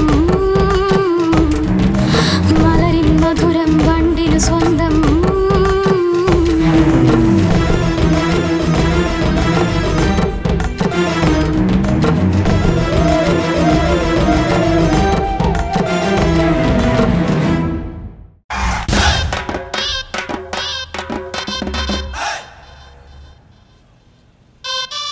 ഗോപി നിന്റെ റേഞ്ചും നീ തന്നെയല്ലേ എന്നോടൊരു സ്കൂട്ടറോ കാറോ വാങ്ങാൻ പറഞ്ഞത്? അതുകൊണ്ട് വാങ്ങിയതാ. അങ്ങനെയാണെങ്കിൽ പിന്നെ ക്നാപ്പ് സെക്യൂരിറ്റി എന്തിന്? സെക്യൂരിറ്റി എനിക്കല്ല. എന്റെ തലയ്ക്കകത്തിരിക്കുന്ന സ്കെച്ചുകൾക്ക് വേണ്ടിയാ. ഇതിന് പിന്നെ എന്തിനീ? ക്നാപ്പന്മാരെ കൊണ്ടു നടക്കാതെ ഹെൽമെറ്റ് വെച്ചാ പോരെ. ഞങ്ങളെ പറ്റി എന്തെങ്കിലും പറഞ്ഞ ചുട്ടു കൊന്നുകളയും മാമാ. ഒരു കാര്യം ചോദിച്ചോട്ടെ മാമ. ഇത്രയും അങ്ങനെ വളർന്നത് നിങ്ങൾ. വിജയകൃഷ്ണന്റെ സ്കെച്ച് ഇട്ടതിന് ശേഷം എന്റെ റേഞ്ച് എവിടെയോ എത്തി. അപ്പൊ വിജയകൃഷ്ണനെ തട്ടിക്കളഞ്ഞത് നീയാണല്ലേ? ഓ. ഒന്ന് വെയിറ്റ് ചെയ്യൂ. അവൻ കേട്ടിട്ടേ ഉള്ളൂ കണ്ടിട്ടില്ല ഇതുവരെ. Cool down cool down uncles Vijayakrishnan എന്നല്ല ഇനി ഈ ലോകത്തിൽ ഏറ്റവും വലിയ തല വീണാലും അതിന്റെ പിന്നിൽ എന്റെ സ്കെച്ച് ഉണ്ടാവും. അണ്ടർസ്റ്റാൻഡ് എന്താടാ? ശങ്കരേട്ടൻ വിളിച്ചോണ്ട് വരാൻ പറഞ്ഞു വാടാ. ഈ ശങ്കർ അല്ലടാ ആ ശങ്കറിന്റെ പടത്തിലെ എന്തിരൻ വന്നെന്നെ വിളിച്ചാലും എന്റെ അടുത്ത് വന്ന് സ്കെച്ച് വാങ്ങണം. മനസ്സിലായോ? മര്യാദയ്ക്ക് വരുന്നോ? അതോ? വരാൻ സാധിക്കൂല. സാധിക്കൂല. സാധിക്കൂല. നീയൊക്കെ എന്താണ് എന്നെ കുറിച്ച് വിചാരിച്ചേ? എന്റെ സ്കെച്ച് വേണമെങ്കിൽ നീയൊക്കെ എന്റെ വീട്ടിൽ വരണം. അവിടെ വന്നു കഴിഞ്ഞാൽ എന്നോട് കെഞ്ചണം കരയണം ചിലപ്പോൾ കാലി പിടിക്കേണ്ടതായിട്ടും വരും. അല്ലാതെ എന്നെ തൂക്കിയെടുത്തോണ്ട് വരുവാണോ ചെയ്യണ്ടേ? ഞാൻ ഗോപി. സ്കെച്ച് ഗോപി. ഞാൻ സ്കെച്ച് ഇട്ടാൽ നിന്റെ തല പൊട്ടിച്ചു പോകും. എന്ത് ധൈര്യത്തിലാണ് നീ എന്നെ തൊട്ടത്? എന്റെ കപ്പാസിറ്റി നിനക്കറിയാവോ? ഷാജിയെ കൊല്ലാൻ സ്കെച്ച് ഇട്ടത് ആ വിജയകൃഷ്ണനെ കൊല്ലുന്നതിന് വേണ്ടി മടുത്തിരുന്ന് സ്കെച്ച് ഇട്ടത് ഞാനാ യു നോ ഈ ഫോർട്ട് കൊച്ചിയിൽ ശിവകൃഷ്ണ നടത്തുന്ന സകല കൊലപാതകങ്ങൾക്കും സ്കെച്ചിട്ട് കൊടുക്കുന്ന ഞാനാ അത് എക്സിക്യൂട്ട് ചെയ്യുന്നതും ഞാൻ തന്നെയാ. യൂസ് ചെയ്തോ എന്നെ? എന്റെ ടാലന്റ് യൂസ് ചെയ്തോ? എന്നെ പോലെ ഒരു ബുദ്ധിമാൻ ജനിച്ചത് ഈ ഭൂമിയുടെ പുണ്യമാണെന്ന് വിചാരിച്ചോ നീ? എന്നെ എക്സൈറ്റ് ചെയ്തോളൂ എന്നെ ഇൻസ്പയർ ചെയ്തോളൂ. വേണമെങ്കിൽ സ്കെച്ചും വാങ്ങിച്ചോളൂ. അതല്ലാണ്ട് എന്നെ തല്ലുന്നോ? യു സാറിന് സ്കെച്ചും പേപ്പറും എടുത്തു കൊടുക്കടാ. വേണ്ട പേപ്പർ മാത്രം മതി. സ്കെച്ച് എന്റെ കയ്യിലുണ്ട്. എന്റെ പിള്ളേരെ ആ ശിവ എങ്ങനെയാ കൊല്ലാൻ പോകുന്നതെന്ന് ഒന്ന് സ്കെച്ചിട്ട് കാണിക്ക് ഗോപി. ഞാൻ പറയില്ല. നീ തോക്ക് നോക്കണ്ട. വരയ്ക്കാം. ഇത് പോർട്ട് റോഡ്. ശിവകൃഷ്ണയുടെ ആൾക്കാര് ഒരുത്തനെ ഓടിക്കുന്നു. എവൻ ഓടുന്നു? മറ്റവർ പുറകെ. കറക്റ്റ് ഒരു സ്ഥലത്ത് വരുമ്പോ അവിടെയാണ് ഒരു ടിസ്റ്റ് എതിർഭാഗത്ത് നിന്ന് മറ്റൊരു സംഘം ഓടിയെത്തി അവനെ ആക്രമിക്കുന്നു. അവൻ ഇതാ ഓടിക്കൊണ്ടിരിക്കുന്നു. അവന്റെ പിന്നാലെ രണ്ട് സംഘങ്ങളും പോയിക്കൊണ്ടിരിക്കുന്നു. നാനാ ഭാഗത്തുനിന്നും അവനെ ആക്രമിക്കാൻ ശ്രമിക്കുന്നു. ഓടുന്നതിനിടയിൽ അവൻ കാൽ തട്ടി താഴെ വീഴുന്നു. ആ സമയത്ത് കൃത്യം ശിവകൃഷ്ണ ചക്ക ചക്ക എന്ന് വന്ന് നിൽക്കുന്നു. പറന്നു വന്ന കോടാലി വാങ്ങി തെരി തെറി അവനെ വെട്ടി വീഴ്ത്തി. അവൻ ആ സ്പോട്ടിൽ തന്നെ കിടന്ന് പിടഞ്ഞു മരിച്ചു. എങ്ങനെയുണ്ട് എന്റെ സ്കെച്ച്? ചേട്ടാ നമ്മുടെ മുത്തുകൃഷ്ണനെ ആ ശിവകൃഷ്ണന്റെ ആൾക്കാർ നടുറോഡിലിട്ട് വെട്ടിക്കൊന്നു. ഞാൻ പറഞ്ഞത് സംഭവിച്ചല്ലോ. അയ്യോ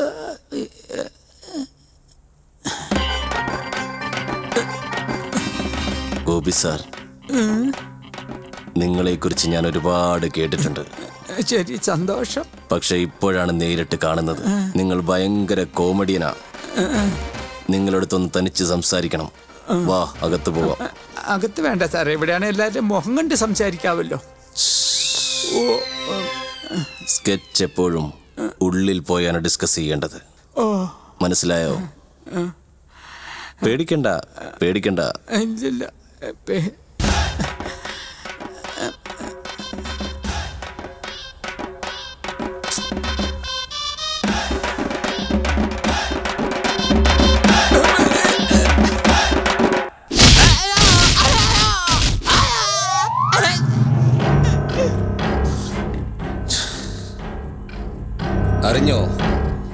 ആ ശിവ നമ്മുടെ കമ്മീഷണർ മോളെ കല്യാണം കഴിക്കാൻ പോവാന്ന്. ആ കല്യാണത്തിന്റെ കാര്യം നമുക്ക് ആവശ്യമില്ലടാ നമ്മൾ ആദ്യം അവനൊരു മാലയിടും.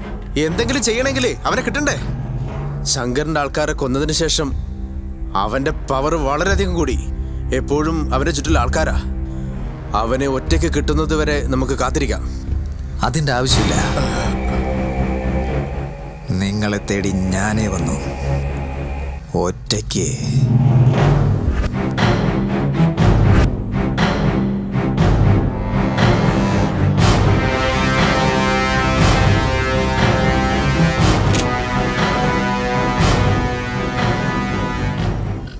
സാധാരണ. നിങ്ങളെപ്പോലുള്ള മൃഗങ്ങളെ വേദന അറിയാതെ കൊല്ലാൻ പാടില്ല.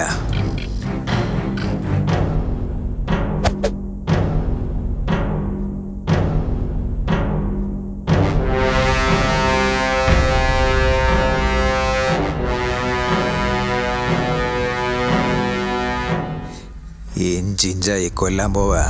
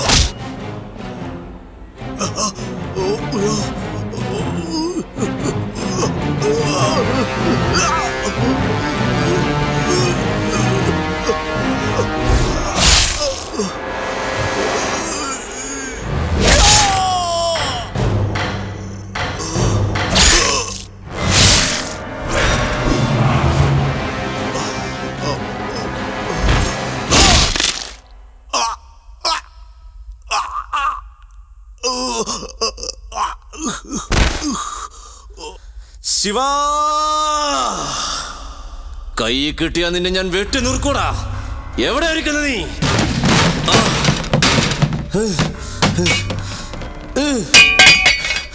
എടാ എടാ എന്തിനാടാ ഈ ആവേശം കാണിക്കുന്നത്? ഏ? രാഷ്ട്രീയത്തിൽ ഈ ആവേശം പാടില്ലെന്ന് എത്ര പ്രാവശ്യമാണ് നിന്നോട് പറഞ്ഞത്? നിന്നെ നിന്നെ നിന്നെ നിന്നെ വിശ്വസിച്ച് രാഷ്ട്രീയത്തിൽ ഇറങ്ങി എന്നെ വേണം പറയാൻ. ഇത്ര വിവരദോഷിയായി പോലാണ് നീ. നീ മനുഷ്യനാണോ? അത് മൃഗമാണോ?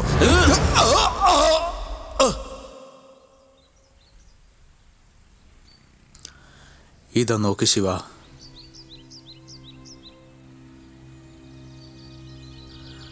ഗീത അച്ഛനോട് ദേഷ്യപ്പെട്ട നമ്മുടെ വീട്ടിലേക്ക് വന്നതെങ്കിലും അവളുടെ അച്ഛനെ പറ്റി നിനക്കറിയാലോ? ഒരു കല്യാണത്തിൽ എല്ലാവരുടെയും സന്തോഷമല്ലേ പ്രധാനം? അപ്പോഴാണ് അതിനൊരു അഴകും അർത്ഥം ഉണ്ടാകുന്നത് കമ്മീഷനോട് സമ്മതം വായിക്കാൻ ഞാൻ ശ്രമിക്കുന്നുണ്ട്. അത് നടക്കുമെന്ന് തോന്നുന്നുണ്ടോ? അദ്ദേഹത്തിന് നമുക്ക് യാതൊരു വൈരാഗ്യമില്ല അദ്ദേഹം നമ്മളെ തെറ്റിദ്ധരിച്ചിരിക്കുക. സംസാരിച്ച് തീർക്കാം. താങ്ക്സ് ഏട്ടാ. നമ്മൾ എന്തിനാടാ താങ്ക്സ് വയസ്സിൽ ചെറിയവനായാലും നമ്മുടെ കുടുംബത്തിന് വേണ്ടി നീ ഒരുപാട് ചെയ്യുന്നുണ്ട്. അത് നിനക്കും അറിയാം എനിക്കും അറിയാം.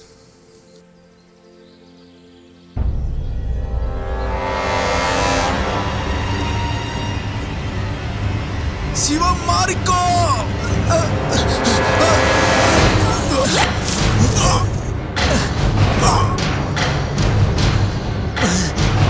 ചേട്ടാ ചേട്ടാ